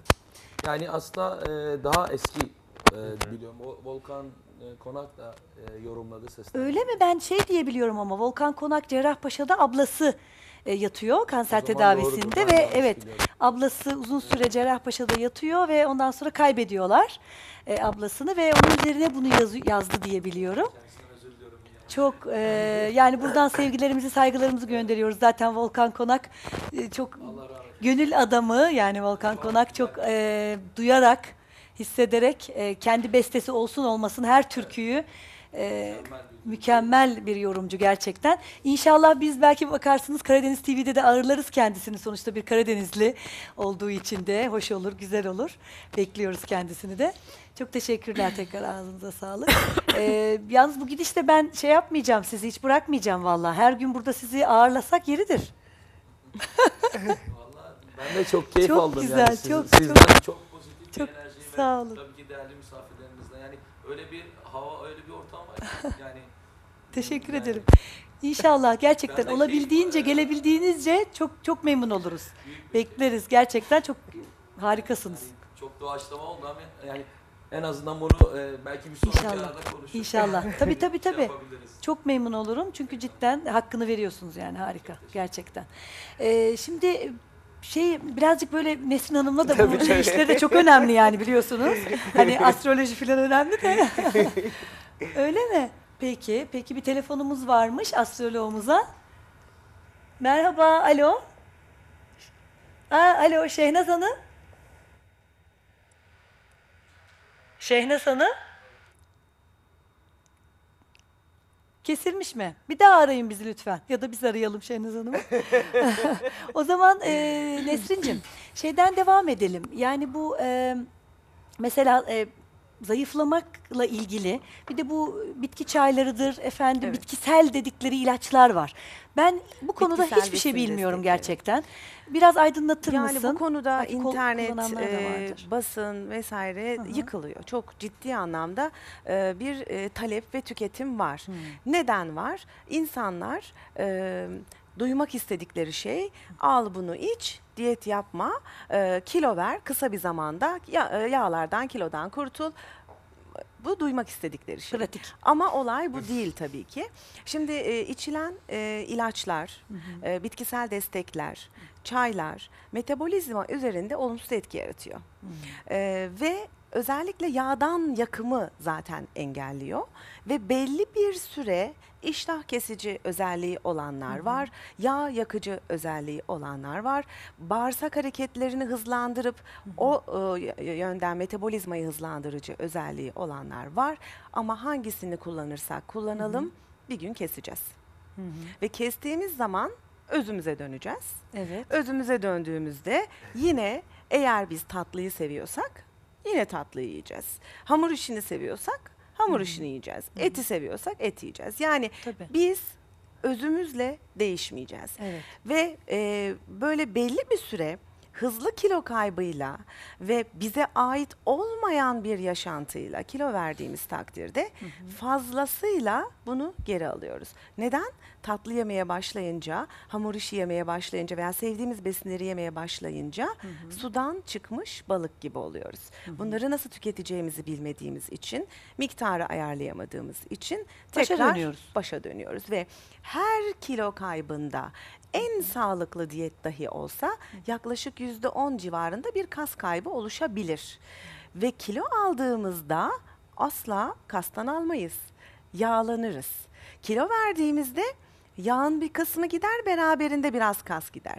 Kilo aldığımızda yeniden yağlanırız. Böyle bir kısır döngüyle ilerleyen yaşlara çok olumsuz bir sağlık yatırımı diyelim biz ama olumsuz yönde Tabii, bir tabii. e, problem yaratmış oluruz. Ve bunun acısı özellikle çok sık diyet yapmış ve bu tür şeyleri de e, ürünleri de bitkisel destekleri de denemiş ve onun sonucunda şu an kilo almış ve metabolik bir takım sorunlar yaşayan birçok kişiyle karşılaşıyoruz. O yüzden ne yaparsak yapalım. İstersek estetik ameliyat olup yağlarımızı aldıralım. Bu bile çözüm değil. Tabii tabii. Çünkü Yeme yani düzenimiz Evet. çok önemli. Sizi siz olarak kabul edip aktivite düzeyinizle, sosyal hayatınızla, besin tercihleriniz, öğün düzeninizle eğer optimum yaşam kalitesini ve planını oturtamadıysanız kilonuzu geri alırsınız. Estetik ameliyat olan kişiler çok geliyor. Şimdi karın bölgesindeki yağlar alınmış.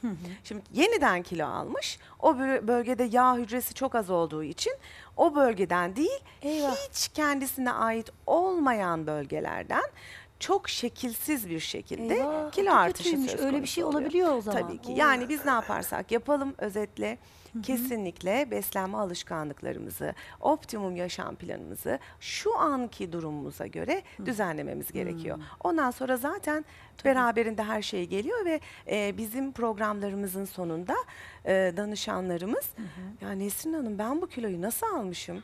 Yiyorum. Sevdiğim her şeyi tüketiyorum.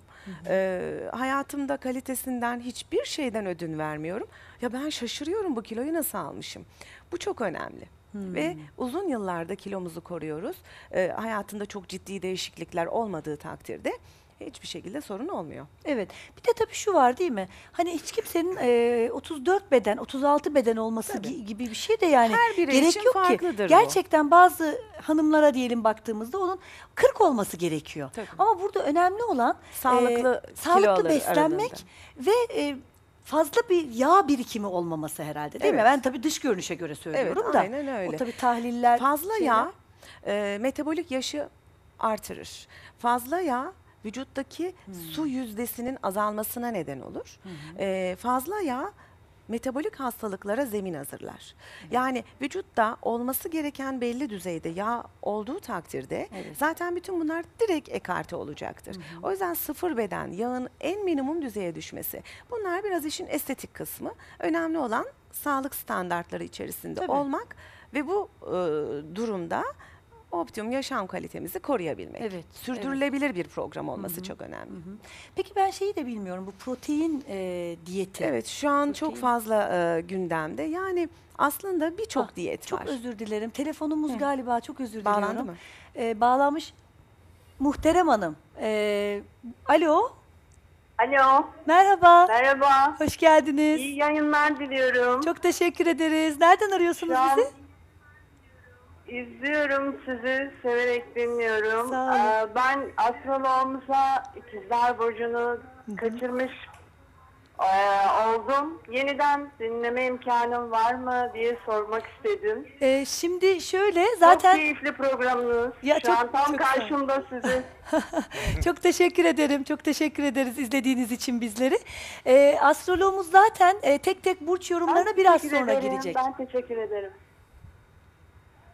Ee, veya siz evet İkizler cevabı Burcu'nu bırakmamak için sormuştunuz. yay burcunu mu Evet. sordunuz?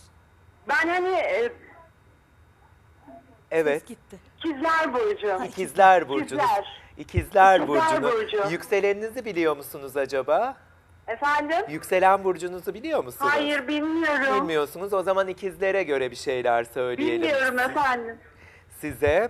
Ee, Jüpiter'in aslan geçişi, yükseleni Tamam, de eğer okey. ikizler düşünürsek, ee, kardeşler, kuzenlerle ilgili hayatınızda olumlu gelişmeleri getirebilir. İletişim konuları ve eğitim hayatı ile ilgili de olumlu gelişmeleri getirebilir. Yükseleniniz de ikizler olarak düşünürsek eğer. Yükseleni bilseniz tabii daha net bir şey söylerdim size. Genel olarak da Aralık'tan sonra e, artan sorumluluklarınız olacağını düşünüyorum. Bu Aralık'tan başlayarak 2015 ve 2016 yılları boyunca sorumluluklarda artış olabilir hayatınızda. Teşekkür ederiz aradığınız için bizleri. Hoşçakalın. Hoşçakalın. Evet, e, tam bu protein diyetine. Evet.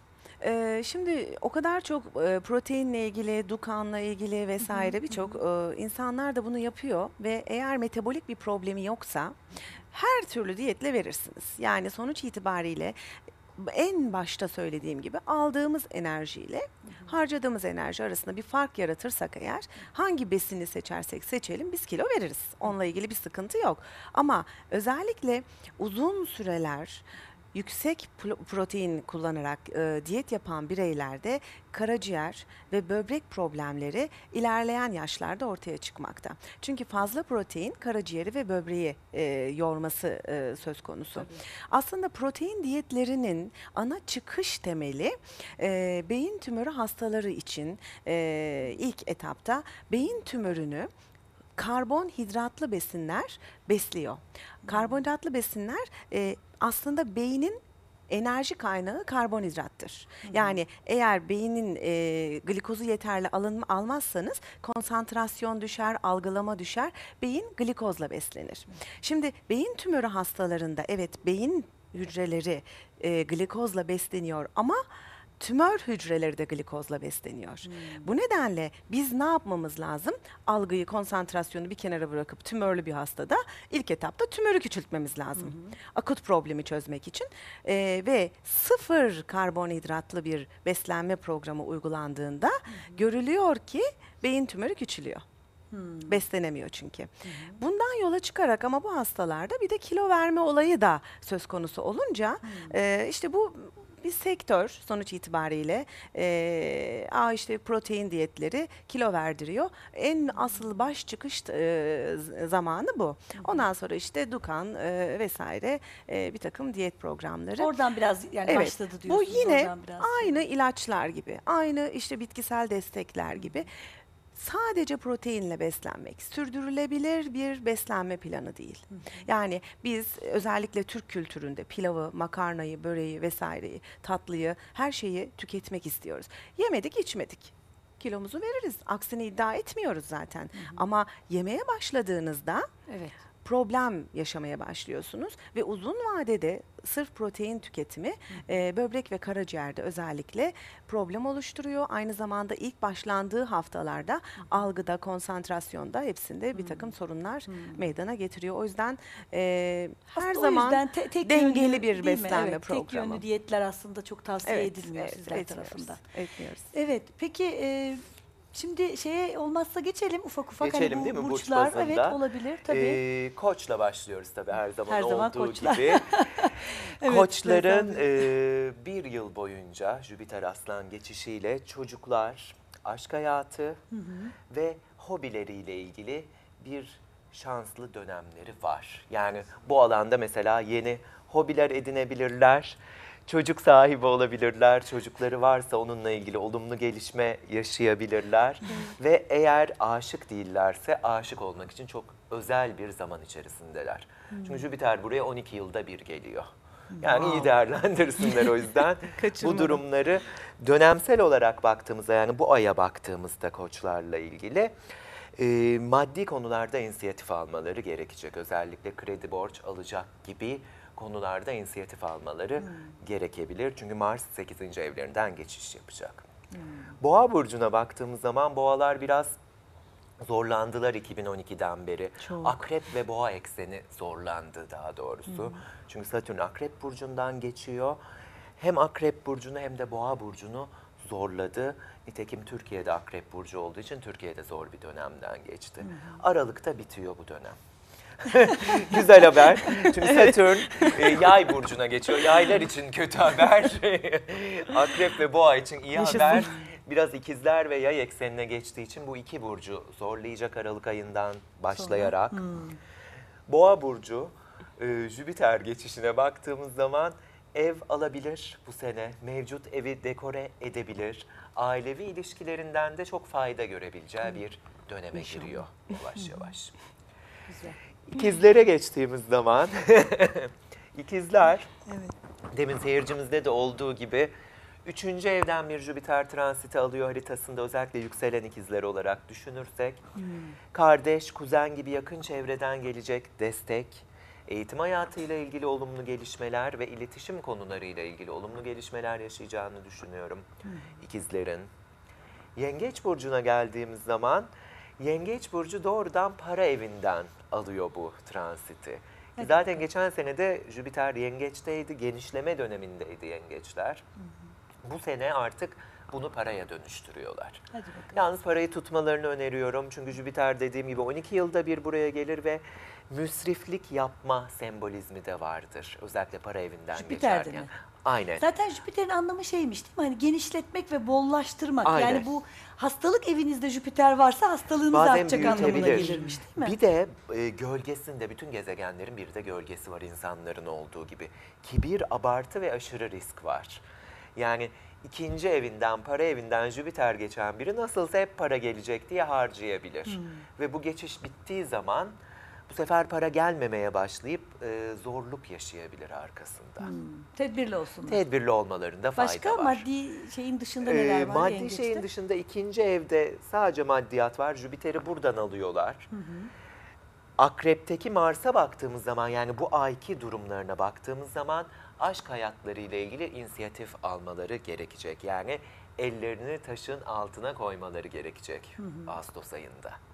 Biraz orada agresyonda olabilir tartışmalardan mümkün olduğunca uzak dursunlar. Peki yengeçler. Aslan burcuna geldiğimiz zaman Aslan zaten bu senenin şanslı burcu. Çünkü 16 Temmuz itibariyle Jüpiter Aslan burcuna geçti ve doğrudan birinci evleriyle ilişkili yepyeni girişimler, kişisel gelişim, yükselen aslanlar için bu çok iyi bir haber gerçekten. Yepyeni başlangıçlar. Süper. Hepsi onlarla birlikte bu yıl. Oh, çok Gerçekten ciddi bir büyüme dönemi. Aslanlar için çok çok mühim ve çok güzel bir zaman. Ee, Mars geçişine baktığımız zaman Ağustos ayı için düşünürsek evle ilgili inisiyatif almaları gereken bir dönem. Yani bu bir ev almak olabilir ya da mevcut evle ilgili bir girişimde bulunmaları gerekecek bu dönem içerisinde bu bir ay. Az önceki bahsettiğiniz boğa burcuyla ev Hı şeyinde hı. eşimde boğa olduğu için tam Çocuk da yolda Güçleri muhtemelen. birleştirdiniz yani. Hayırlısı. Ve sizin burcunuza geldiğimiz Başak. zaman Başak Benim yükselenim Burcu'na. akrep. İkisini de dinliyorum. O onun için. süper. Arka arkaya gelecek birazdan. Evet. Başak Burcu'na baktığımız zaman Başak Burcu 12. evden alacak Jüpiter'i. Bu şu demek. Bu transit 12. evde büyük bir ruhsal farkındalık yaratacak. Demek ki Başak için çok önemli bir enerji bu. Çünkü Başak'ın ihtiyacı olan enerjilerden biri. Yani bütün bağımlılıklardan arınmak hayatınızdaki sigara olabilir, işinize yaramayan artık e, arkadaşlıklar, düşünce kalıpları olabilir. Hepsini elimine etmek hayatınızdan, uyanmak ve ruhsal çalışmalarla uğraşmak demek. Bu çok rahatlatıcı bir enerji Başaklar için. Çünkü Başak biraz daha somut, elle tutulanı sever. Bu sene Evet. Başakların bence ruhsallaşma yılı diyorum ben. Gerçekten maneviyata dönecekleri Arınma. bir yıl Başak Burcu'nun bu sene. Hadi bakalım. Akrep Çok özür dilerim. tabii, bir e, telefonumuz Tabii, varmış Sevilay tabii. Hanım. E, Onu cevaplayalım sonra tabii devam ki ederiz. keyifle. Merhaba. Alo. Alo, iyi haftalar. Size de hoş geldiniz. İyi günler. Nasılsınız? Çok çok iyiyiz. Süperiz. Siz nasılsınız? Sağ olun, teşekkür ederim. Ben Barış Bey'le görüşmek istemiştim ama Tabii ki. Buyurun buradayım. merhaba Barış Bey. Merhabalar. takipçinizim. Nasılsınız? Teşekkür ederim, sağ olun. Ben e, Burcu'mu, yükselenimi öğrenmek istiyordum. Tabii doğum tarihinizi alırsam söyleyeyim size. Pardon, yükselenimi biliyorum. Yani açıklığını öğrenmek istiyorum. Akrep, e, Kova Burcu'yum. Akrep yükselenim. Güzel. Ay Burcu'm terazi. O bütün haritanızı biliyorsunuz harika. Ay Kova Burcu'm e, Kova. Terazi dedi. teraziydi demin bir anda değişti ay Pardon, burcunuz. Güneş Burcu Kova. Ha güneş burcunuz güneş de kova, yükselen Evet. akrep, ay burcunuz terazi değil mi? Evet, evet. Tamam, çok güzel. Yükselen akrep olduğunuz için tabii 2012'den başlayan bu Satürn geçişi dedim demin biliyorsunuz. Sonbahar aylarından başlayan bir e, zorlanma sürecine girmiş olabilirsiniz hayatınızda. Genel olarak baskı altında hissettiğiniz ve sorumlulukların arttığı bir dönem olmuş olabilir. Eğer böyle bir e, durum varsa Aralık'tan itibaren rahatlayacağını düşünüyorum. Ve İnşallah. evlilikle ilgili, ortaklıklarla ilgili 7. evinizden bir Jüpiter geçişi var. Burada çok güzel değerlendirebilirsiniz bu dönemi. Gerçekten çeşitli ortaklıklara girerek, eğer evlilik yoksa evlenerek burada olumlu bir e, dönem yaşayacağınızı düşünüyorum. Peki bu 2012'de başlayan zorlayıcı bir döneminiz var mı acaba? Satürn etkiledi mi sizi? Aynen. Onu merak ediyorum. Evet, o yüzden aradım sizi. Çok felaket etti. Ailece maddi yönden hep. Hı hı. De Aralıktan itibaren bu dönemin rahatlayacağını düşünüyorum. Çünkü Satürn Akrep Burcu'nu terk edecek. Yay Burcu'na geçecek. Yalnız İnşallah. sizin para evinize geçecek. 2015-2016'da maddi konularda dikkatli olmanız gerekiyor. İyi bir bütçe planlaması yapmanız gerekiyor. Hem eşiniz hem siz. Ama dediğim gibi bir yandan da Jüpiter'in rahatlatıcı enerjisi devreye giriyor. Hem ailevi olarak hem ev hayatınızda ve evlilikte de sizi rahatlatacağını düşünüyorum. Yani bir İnşallah. yerden alınan bir yerden veriliyor gibi düşünebilirsiniz. Satürn'ün bizi kısıtladığı alanlara Jüpiter'in bizi genişlettiği alanlar panzehir etkisi Ama yapıyor farklı adeta. alanlar dediniz. Farklı Mesela alanlar. Hanım maddi anlamda Satürn gireceği için Biraz dikkat etmeli. 2014-2015 dediniz galiba. Aynen, Oraya 2015-2016. dikkat edecek ama belki ailevi, Ailevi ilişkilerde falan rahat ve güzel. rahatlayacaklar. İnşallah. Her, hakkınızda her şeyin hayırlısı, Hayırlısı olsun Sevilay olsun Hanım. inşallah. Teşekkür Allah, ediyoruz teşekkür aradığınız ederiz. için. Sağ olun, hayırlı günler. Çok sağ olun. Hoşçakalın. Peki demin e, neyde kaldık? Başak bitti Başak galiba. bitti. Terazi burcuna geldik. Çok sevdiğim burçlardan bir tanesi. Terazi burcuna baktığımız zaman Jüpiter Aslan geçişine yine bakıyoruz. 11. evlerinden alıyorlar. Yani sosyal çevrelerinin genişleyeceği, yeni arkadaşlar edinecekleri, kulüplere, derneklere üye olacakları bir döneme girmiş durumdalar. Teraziler biraz rahatlıyor açıkçası. Terazileri de çünkü 2010-2012 arası çok zorlamıştı Satürn teraziden geçerken. O dönem onları çok sıkmıştı. Yavaş yavaş gitgide açıldıkları, rahatladıkları bir döneme giriyorlar. Ağustos ayına baktığımızda maddi konularla ilgili mücadele etmeleri gerekecek. Hmm, daha tam rahatlayamadım. Biraz maddi mücadeleleri var henüz Ağustos ayı için. Ve Olacak. akrebe geldiğimiz zaman bu sefer yükselen burcunuzdayız ve Türkiye'nin burcundayız. Akrep burcuna baktığımız zaman e, Jüpiter transiti ile ilgili yine. 10. evden bir Jüpiter aslan geçişi var. Yani yükselen akreplerin kariyer yılı.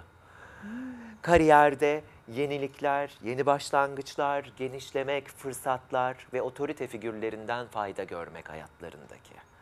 Çok güzel bir dönem. İyi değerlendirsinler. Aralıktan sonra Satürn transitinden de kurtuluyorlar. Oh. Bir daha 30 sene Satürn Akrep Burcu'na gelmeyecek. Satürn aşağı yukarı 30 yıllık döngüleri yönetir. Ülke haritalarında da böyledir. Mesela Türkiye'nin Satürn dönüşü 1980'de olmuştu, 2010'da oldu, bir daha 2040'ta olacak. 30 yıllık süreçler vardır Satürn'ün yönettiği ve bunlar bir hesaplaşma dönemleridir. 30 yılın sonunda Satürn ben ona baş öğretmen diyorum. Gelir ve 30 Öğretir. yılla ilgili hesap sorar ve öğretir baş öğretmenimiz. Ne zamandır bizdeydi yükselen Ee, akreplerde? Satürn? Yükselen akreplerde Uzun zaman. 2012'nin sonbaharında başladı. Bu yılın Aralık Aralıkta ayında gidecek. bitecek. Kurtulacağız. Ama Baş 30 yılda öğretmen, bir 30 tekrar ediyor. bir Mesela 30 Türk, Türk ülke haritasına baktığımızda Allah. Türkiye'de Allah 1950, 1980 ve 2010 ki gerçekten de çok önemli döngüleri anlatıyor Türkiye'de. Aynen akreplerin hayatında Yani da neyden bu böyle. kurtulacağız Satürn gidince? Hangi Ee, baskı, etkiliyor? kısıtlanma, aşırı sorumluluk, depresyon, kaygı Aa. hepsiyle ilintili çünkü. Bunda bir azalma yaşayacaksınız. Güzel. Çok güzel bence. Güzel. Bir de Ve kariyer kariyerle evine ilgili dediniz. de büyük bir genişleme, büyük fırsatlar. Oo süper. Çok güzel. Harika. Bir sürü kanaldan size teklif gelecek. Ve akrepten sonra yay burcuna geçtiğimiz zaman yükselen yaylar 9. evlerinden alacaklar Jüpiter transitini. Yani eğer eğitim hayatları varsa yüksek eğitimle ilgili çok olumlu gelişmeler olabilir. Hukuki konularda olumlu gelişmeler, medya yayımcılık konularında ve yurt dışı bağlantılarında olumlu gelişmeler. Çok güzel yani yükselen yaylar içinde.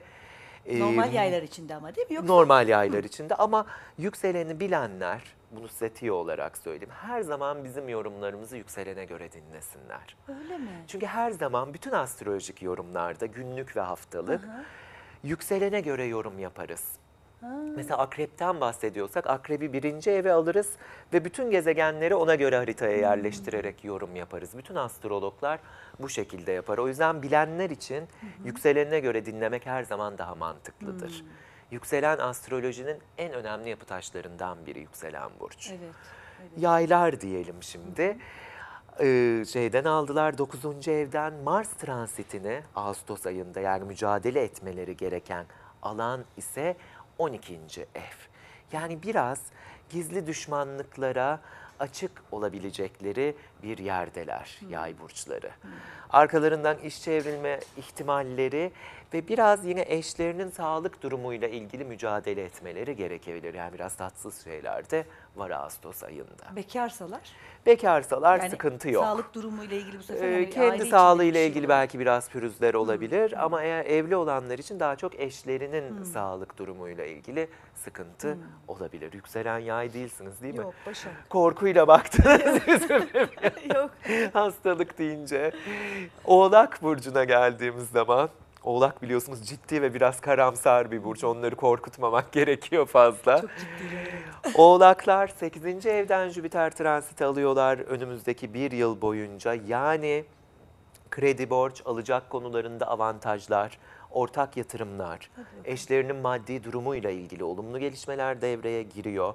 Zorlandıkları alana baktığımız zaman Ağustos ayı için arkadaşlık ilişkileri ve sosyal çevreleriyle ilişkileri burada biraz agresyon devreye girebilir, dikkat etmeleri gerekiyor Onları kızdıran çevrelerinde belki eşi biraz dostu böyle olabilir. mücadele etmeleri de gerekebilir. Olumlu anlamıyla bakarsak belki bir arkadaşları adına mücadele etmeleri de gerekebilir.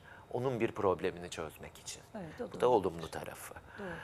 Kova burcuna geldiğimiz zaman benim burcuma geldiğimizde bu sene Jüpiter transitini 7. evinden alıyor. Yani ilişkiler, evlilik, ortaklıkla ilgili müthiş gelişmeler olacak. Çok iddialı bir şekilde söylüyorum. Pek çok yükselen kova bu sene evlenecek. Yükselen burcu kova olanlar yalnız özellikle pek çoğunun evlendiğini göreceğiz ya da bir ortaklığa girdiğini ya da bir uzun ilişkiye başladığını göreceğiz. Çünkü 7. ev çok güçlü bir enerjiye Yani ya sahip. işle ilgili bir ortaklık olabilir. Ya işle ilgili evlilikle ya da ilgili evlilik. Sağlam bir ortaklık. İmzayı atacaklar İmzayı yani bir atacaklar. şekilde. Ya bir Yükselen ortakla kovalar ama. yükselen kovalar özellikle. Ve de Mars akrep geçişine yani bu aya baktığımız zaman kova burcuyla ilgili olarak kariyerleriyle ilgili çok ciddi mücadele etmeleri gerekiyor Ağustos ayında. Bari bir bu mücadele mücadelenin var. sonucu iyi mi? Nasıl etki alıyorlar? Eğer ellerini taşın altına koyarlarsa olumlu. Aslında hep şunu söylüyorum. Sonuç bize bağlı. Bütün bu gezegenlerin sembolizmi aslında bize yemeğin malzemelerini anlatıyor. Yemeği pişiren biziz. Adeta bir mutfaktayız yaşarken. Bir sürü malzememiz var. Bazıları az malzemeyle mükemmel bir yemek yaparken bazıları çok malzemeyle berbat bir yemek yapabiliyor. Evet. Burada da özgür irademiz devreye Verdiğimiz giriyor. karar değiştiriyor hepsini. Çok önemli ve küçük kararlarımız bile günlük kararlarımız.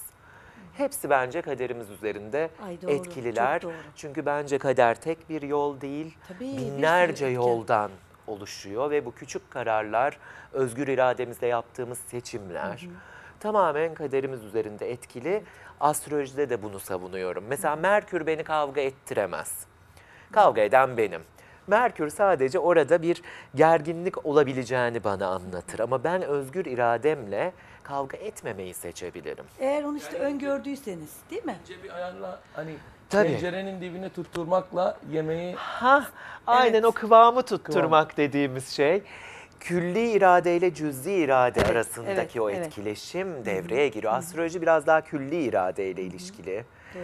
Erzurumlu Hakkı Hazretleri, Hazretleri evet. vardır biliyorsunuz. İbrahim Hakkı Hazretleri. İbrahim Hakkı Hazretleri der ki yıldızlar Allah'ın elleridir der. Evet. Gerçekten yıldızlar ve gezegenler külli iradeyle çok ilintili ama bir de bizim cüz'i irademiz var. Ve bununla seçim yapacağız. Tabii. Balık mı kaldı? Balık kaldı Onu bir tek. sonraya bırakalım mı? Tamam. Bir müzik dinleyelim mi? Harika Ara- olur. ara Balıklar da müziği sever üstelik. Balıklar da müziği sever, şiiri sever. Evet. Şiiri de sever. Ne dinleyeceğiz? Ee, bir yabancı bir şarkı Olur. söyleyelim mi ister misiniz? Olur. Ee, Bu bugün böyle her yöreden oldu. Değil mi? Duygusal oldu, Volkan Konak oldu. evet. Bu arada e, Volkan Konak'ın şarkısını söylerken e, bir şey söylemek istiyordum. Değerli izleyicilerden bir istirhamım olacak. Çok sevdiğim bir kardeşimin annesi bir ameliyatı var. O şarkıyı aslında onun için de seçmiştim. Evet. E, annesinin kalp ameliyatı var. Onun için bir dua etseler ben çok mutlu olacağım inşallah. Yarın Allah şifa sabah versin. Evet. ameliyat olacak. Evet. Allah şifa versin. Would you dance if I asked you to dance? Would you run and never look back? Would you cry you saw me crying? Would you save my soul tonight? Would you tremble if I touch your lips? Would you laugh? Oh, please tell me this. Now, would you die for the one you love?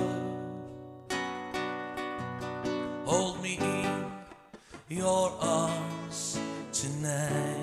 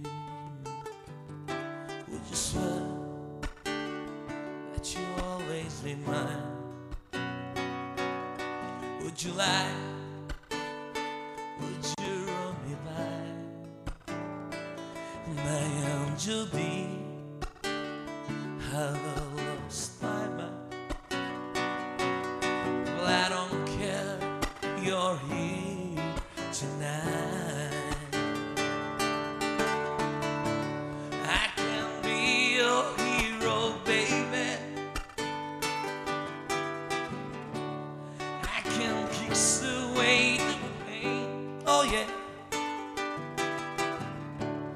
I will stand by you forever. You can't take my breath away. Oh, I just wanna hold you. Oh, I, I just wanna hold you. Oh yeah, my angel dear. I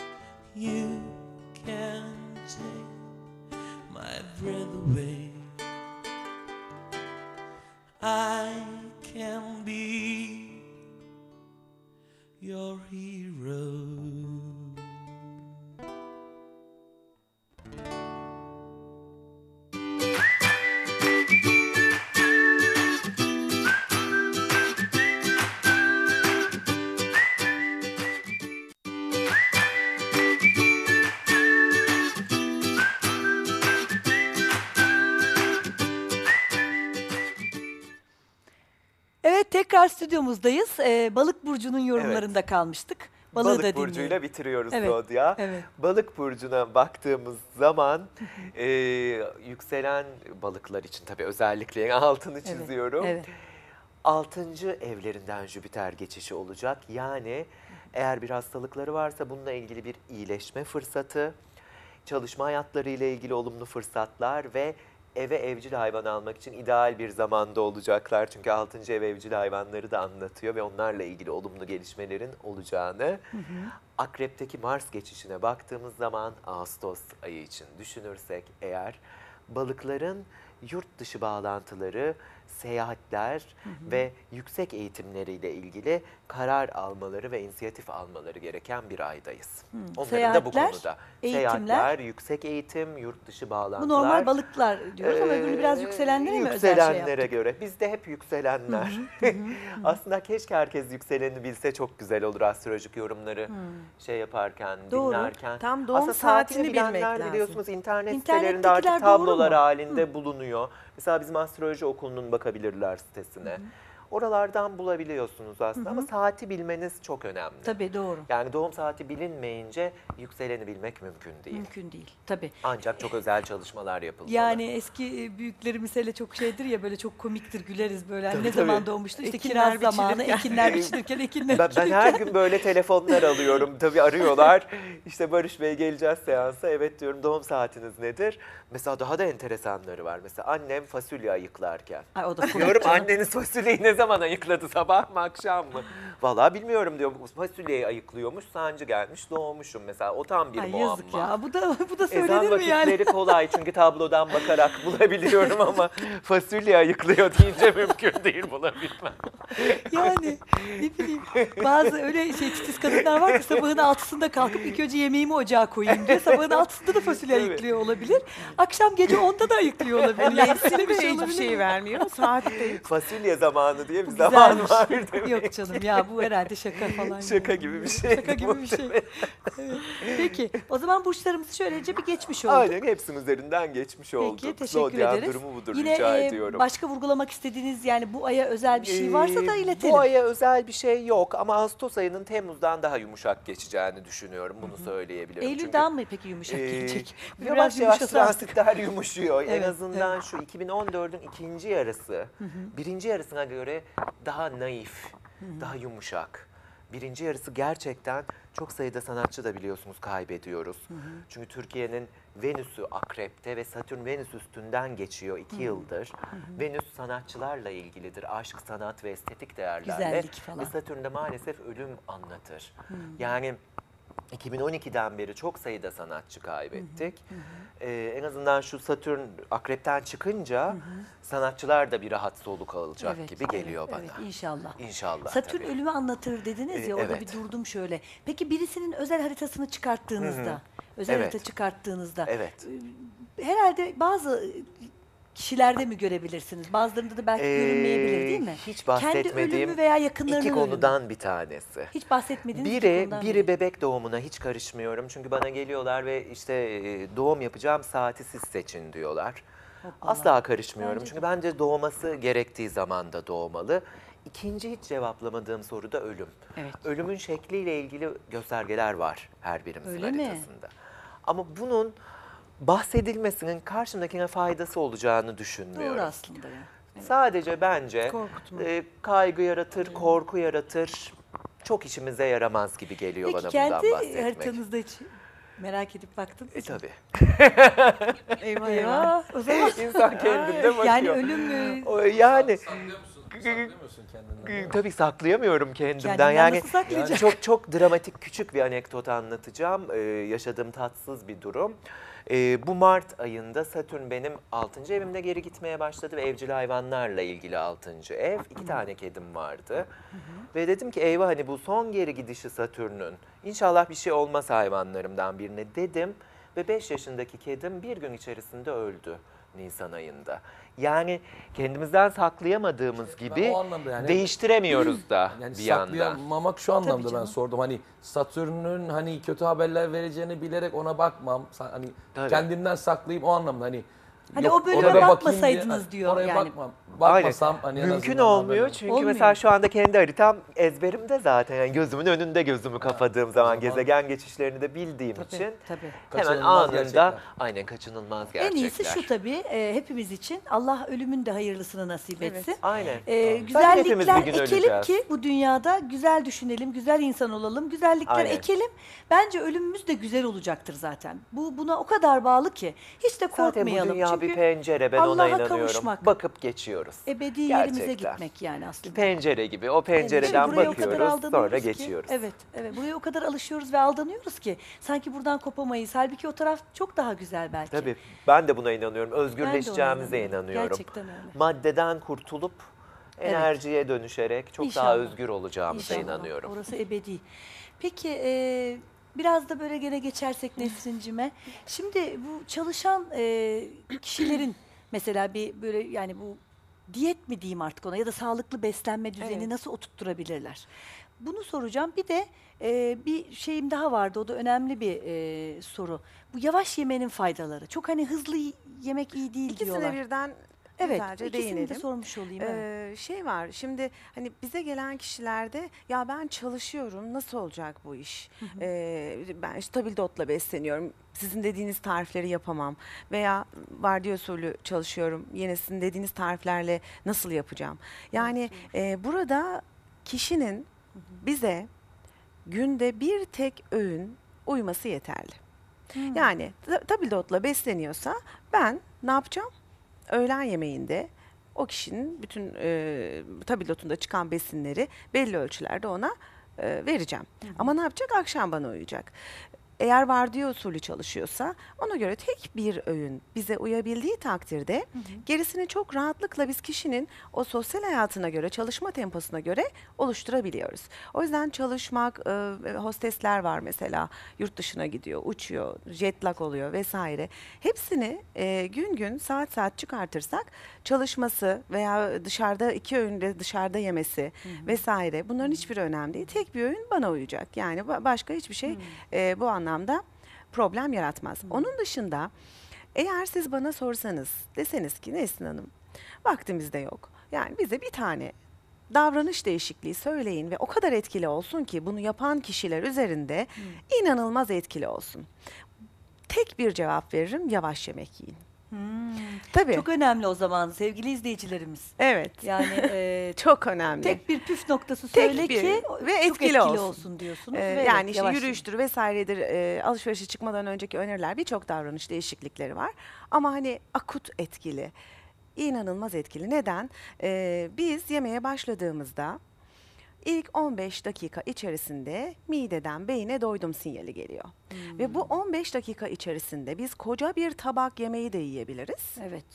Ama onun dörtte birini o 15 dakika içerisinde yiyip geri kalanı ne hızda yerseniz yiyin hiç derdim değil diyorum. Hı, Ama yiyebilirse de yesin gene devamında. Yiyebilirse yesin hiç Ha, derdim değil. Hani dörtte birini tabağa koyup yavaş Hayır, yavaş hayır, ye hayır. değil. Şimdi ta- Ha. tabağımızı dörde böldük. Aldık gelen yemeği dörde böldük. Dörtte birini 15 dakikada yiyeceğiz. Küçük kaşık kullanabiliriz. Küçük çatal kullanabiliriz. oyalanabiliriz 15 vesaire. dakikada o zaten. Ee, yani- ve Sorabilir miyim? Benim gibi insülin direnci olanlar mesela Hepsi- benim canım hızlı yemek istiyor. Şimdi kan şöyle. şekerim düştüğü zaman. Orada siz yoksunuz. Orada insülin hormonu Değil mi? var. Biz başta da söylediğim gibi nedeni değiştirmezsek sonucu değiştiremeyiz. Değiştiremeyiz, değil Şekeri mi? düşmüş olan birine küçük kaşıkla yemek ye, işte az ye, sohbet et. Orada yok. Şekeri orada. düşürecek hale demek Tabii. istiyorsunuz. Önemli Ha. olan Evet. o noktaya gelmemek. O, noktaya noktaya geldiğim zaman geldikten sonra hızlı yemek istiyorum. geçmiş olsun. Geçmiş olsun. Yani orada hiçbir şey yapamayız. Ee, bizim mesleğimizle alakalı hani birçok sanatçı eminim bunu e, merak ediyordur. Hani biz gece çalışıyoruz çünkü. Evet. Ve e, hani yemek saatinde genelde sahnedeyiz. Tamam. Ee, ya hızlı hızlı yemek yememiz gerekiyor çünkü çok kısa bir aramız var. Bir de gecenin sonunda tam doğru düzgün e, hani o tadımlık e, şeklinde yediğimiz için gecenin sonunda saat bir buçuk, iki, iki buçukta yemek yiyoruz. Şimdi aralarda e, süreyi biraz kısa tutabilirsiniz. Çünkü saat e, öğün aralarını düzgün bir şekilde planlayabilirsek eğer aralarda yemek yeme süresini bir kısa tutabilirsiniz. Benim yemek yeme zamanını uzatın ve yavaş yemek yiyin dediğim ana öğünler. Yani fazla yiyebileceğiniz öğünler. Arada mesela bir galeta alacaksınız veya bir avuç leblebi alacaksınız veya bir tost yiyeceksiniz. Hemen yiyip geçin Vallahi o tabii kısa ki. sürede ben bayağı yiyorum. Ha, Yani. İşte işte onu yapmayacaksınız. Neden hani yapmayacaksınız? a- ana yemeğimizi bitiriyoruz. Şimdi neden yapmayacaksınız? Ee, ana öğünleri düzgün saatin fazla olduğu bir zamana yerleştirirsek, planımızı o doğrultuda yapa- yapabilirsek sıkıntı oluşmayacak. Öyle demeyin oluşur. Yani o plan o kadar rahat ortaya Yani çıkar ki pardon mesela şöyle mi? olmaz. Diyelim gece kaçta çıkıyorsun? Onda mı mesela sahneye 8'de başlıyor. Şu anda mesela teknede program yapıyorum. Tamam. Ya, yabancı. 8'de ise- evet, 8'de başlıyorsa demek ki e, 7 gibi falan yiyeceğiz yemeğimizi Veya veya da yollardayım hani oraya gidene kadar falan. mesela hani, gitmeden önce e, bir tost, da yesem ayran ge- yani Gene hani- acıkacağım. Yo yo yo acıkmazsınız. Ara mı yanınıza alabilirsiniz. Ben ona zula diyorum. Zulaya işte e, Az aralar, grisini, galeta. E, iki saat arayla böyle çünkü sahnedesiniz. Bir performans e, harcıyorsunuz. E, orada çok daha e, farklı bir görüntü sergilemeniz gerekiyor.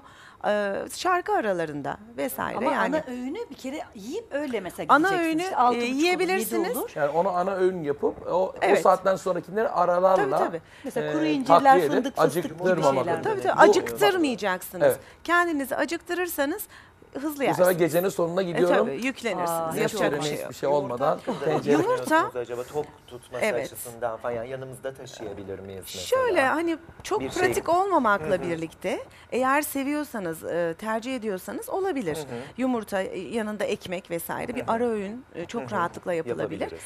Yumurta bizim için kalite protein, örnek protein, e, biyo yararlılığı yani vücutta kullanılabilirliği en iyi olan protein. Çok güzel. E, o yüzden günde bir tane yumurta bizim için gerçekten iyi bir şey. Almamız lazım. Peki katı haşlan Hiç fark fark etmez. etmiyor. Hiç Herhangi fark bir etmez. şekilde Hı hı. olabiliyor. Yani yağda kızarmış olmasın. Bütün e, yiyecekler için geçerli. Yeterli bizim için. Aa, çok güzel. Ama ara öğüne hani bir elma da girer. Tabii, tabii. Bir şey e, muz girer.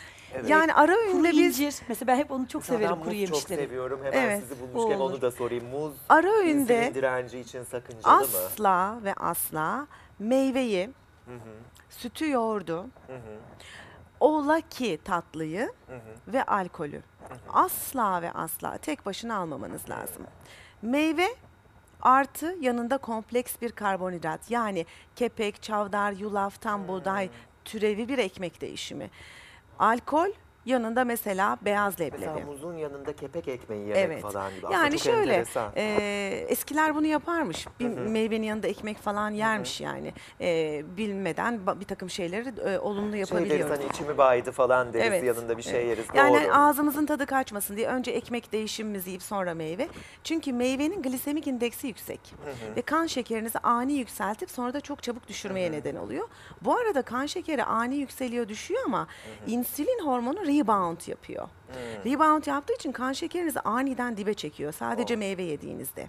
Fakat beraberinde kompleks bir karbonhidrat yani kana yavaş karışan bir karbonhidrat alır iseniz yavaş yavaş kan şekeri yükselmeye başlıyor. Ve doğal olarak insülin hormonu meyveyi tek başına yediğiniz gibi tetiklenmiyor. Ve çok aşırı salgılanmadığı için kan şekerinizin de ani düşüşüne neden olmuyor. Bu mükemmel bir bilgi Bu yüzden gerçekten. asla ve asla meyveyi sütü yoğurdu, sütte laktoz, e, glisemik indeksi düşük. Alkol dördüncü bir enerji kaynağı, o da aynı etkiyi yaratıyor. Tatlı zaten o da glikoz, basit şeker. Tek başına asla almıyorsunuz, yanında bir ekmek değişimiyle ara öğün Çok yapıyorsunuz. güzel bir bilgi. Benim gibi meyve seven insanlar Evet, için onu, çok onu önemli mutlaka bir bilgi. hemen e, çok çok çok önemli bir Buna bilgi. herkesin El ele dikkat tutuşun. etmesi gerekiyor yoksa e, İnsülin problemi. Özellikle insülin direnci, İnsülin reaktif direnci. hipoglisemi ve diyabeti olan bireylerin kesinlikle dikkat etmesi gerekiyor. Ama bu herkes için bir kural olabilir. Yani tek başına meyveyi yemek e, acıkmanın daha hızlanmasına neden Aa, oluyor. çok enteresan. evet çok güzel Yani mesela biz kilo alma programlarında bizde sadece kilo verme programımız yok. Kilo almak isteyen bireyler de geliyor. Mesela biz kilo e, vermek isteyen bireylere ara öğünde sadece meyve veriyoruz. Kilo vermek isteyenler. Acıktırıyor çünkü. Almak isteyenler. Al, almak isteyen Hı hı, bireylere kilo alsın, iştahı gelsin, Sadece acıksın meyve. diye Ha. ara öğünlere meyve koyarız ki acıksın. Yemek yemek istesin. Çünkü bu kişiler de yemek yemedikçe e, Peki elmanın yemeği yanına ne reddetme. yiyebilirim ben diğer türlü mesela kilo Ha. almak istemeyen birisi için elmanın yanına. Elmanın Ne yanına olabilir? mesela bir tane kepekli galeta yiyebilirsiniz. Veya bir avuç beyaz leblebi yiyebilirsiniz. Yarım paket diyet bisküvi yiyebilirsiniz gibi. Yani Yani işte daha çok Evet. iştahımızı arttırmasın yalnız. yok inanın sadece meyve yemenizdense Seviyorum çünkü. Ben de meyve çok Meyveleri, severim. şeyleri, galetalar, çıtırlar, pıtırlar. Yok, Muz özellikle çok severim. En sevdiğim meyvedir. Ama işte bayılırım. sadece meyve Kiraz, muz, yemenizdense beraberinde ekmek değişimiyle birlikte aldığınızda Hmm. etki ya bu e, söylenmez, yaşanır. Yaşayacaksınız, göreceksiniz. Yani inanın İyi, hani, çok büyük bir fark tamam. yaratır. Ben muzla birlikte mesela bir büyük kepek ekmeği yermişim. Yok. kadar da fazla. O- onu da tabii yapmayacağım. Yani değilim. yarım muzu bir dilim ekmek taşıyor. Yarım çikita muzu bir dilim ekmek Aa, taşıyor. tamam. Yarım muz yiyorum Evet. zaten. Dikkat ediyorum. Peki çünkü teşekkür ederiz. Çok değerli bilgilerdi gerçekten. Ee, şimdi şeyi soracağım. Deminden beri aklımda e, Reza Bey'e. E, bu yarışma e, ne gibi hayatınızda ne gibi değişiklikler getirdi? katkıları, olumlu Ee, katkıları olmuştur Valla mutlaka. o- olumsuz olarak herhangi bir şey olmadı yani Olmadı. kesinlikle.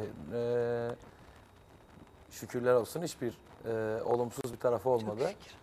Ama olumlu olarak e, sayabileceğim birçok faydası oldu. E, birçok e, benim sesime veya e, ruhuma, müzik ruhuma e, değer verebilecek insanlara sesimi duyurabilme fırsatı oldu. E, onların duygularına tercüman olabilme fırsatı bana verdi. Onlarla birlikte bir şeyleri paylaşmayı, e, bazı e, internet üzerindeki Daha çok kişi sizi tanıdı. Evet. Daha çok kişi sizi izledi, ulaşabildi. bilinirliğimi arttı. tabii bilinirliğinizi Ve bunlar arttırdı. çok ciddi faydalar tabii getirdi. Yani hem sanatsal anlamda e, işte şu anda tekrar projelerim ben e, bir dönem çünkü sessizlik e, adını verdiğim bir dönemim vardı. E, uzun yıllar yani bayağı uzun Hangi yıllar. yılda Babamı- yarışmaya katıldığınız yıl? Babamı kaybettikten sonra bir Başınız sağ uzun bir olsun. 10 senelik bir e, kayıp dönemim var benim.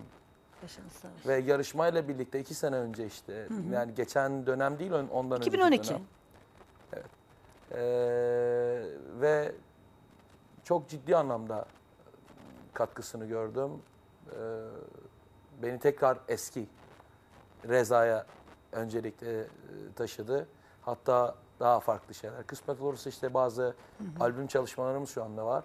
Çok güzel. Öncelikli olarak eee, İran'da şu anda bir Orada da bir girişiminiz peş- mi var? Evet. Şu anda Çok güzel. bir single'la başlıyoruz e, hedefimize. Ondan sonra albümle devam ediyor. A- akabinde de Türkiye'de. E, birinci albüm orada çıktıktan sonra Türkiye'de Allah nasip ederse e, hemen başlayacağız Hayırlısı. sistemlere. İnşallah. Çok güzel. Reza Keşvar Paras daha çok daha e, fazla e, o zaman göreceğiz, dinleyeceğiz, duyacağız inşallah. Bence de gerçekten dinleyelim. Ben çok çok e, memnun oldum yakinen tanıştığıma ve inşallah e, burada sizi bana kalsa her gün ağırlamak isterim. E, bunları da konuşuruz şimdi e, şey yaparız program sonrası. E, olabildiğince ama ağırlamayı çok isterim. E, ben katıldığınız için çok çok teşekkür ediyorum. Diyetisyenimiz Nesrin. Eriş'e ve e, Barış Özkırış hem astrolog hem uzman psikolog diyelim. Yani bu psikolojiyle birçok şeyi birleştiriyorsunuz. Evet. Hem hobi olarak e, Müzik de var. müzikle uğraşıyorsunuz. bir mühendislik de var mı? Ee, inşaat mühendisliği mezunuyum ama hiç yapmadım. Üzerine maşallah, on işletme olmuyor. master yaptım, sonra işletme doktora, sonra psikoloji yüksek lisans. Çok güzel.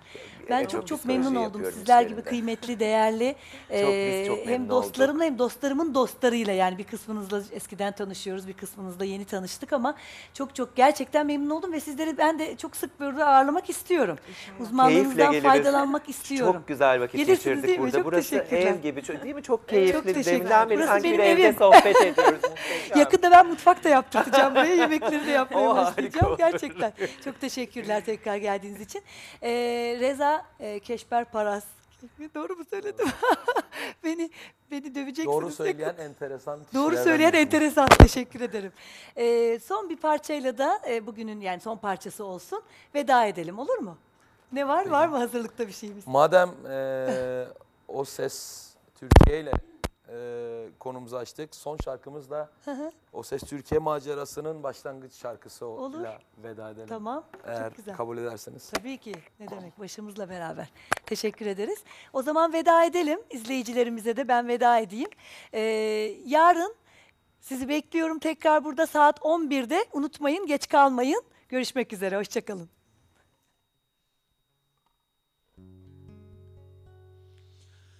Un amor.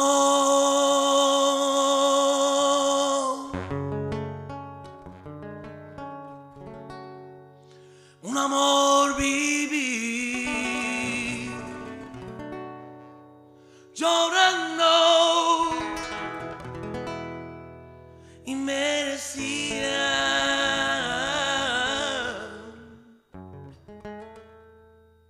las palabras de Dios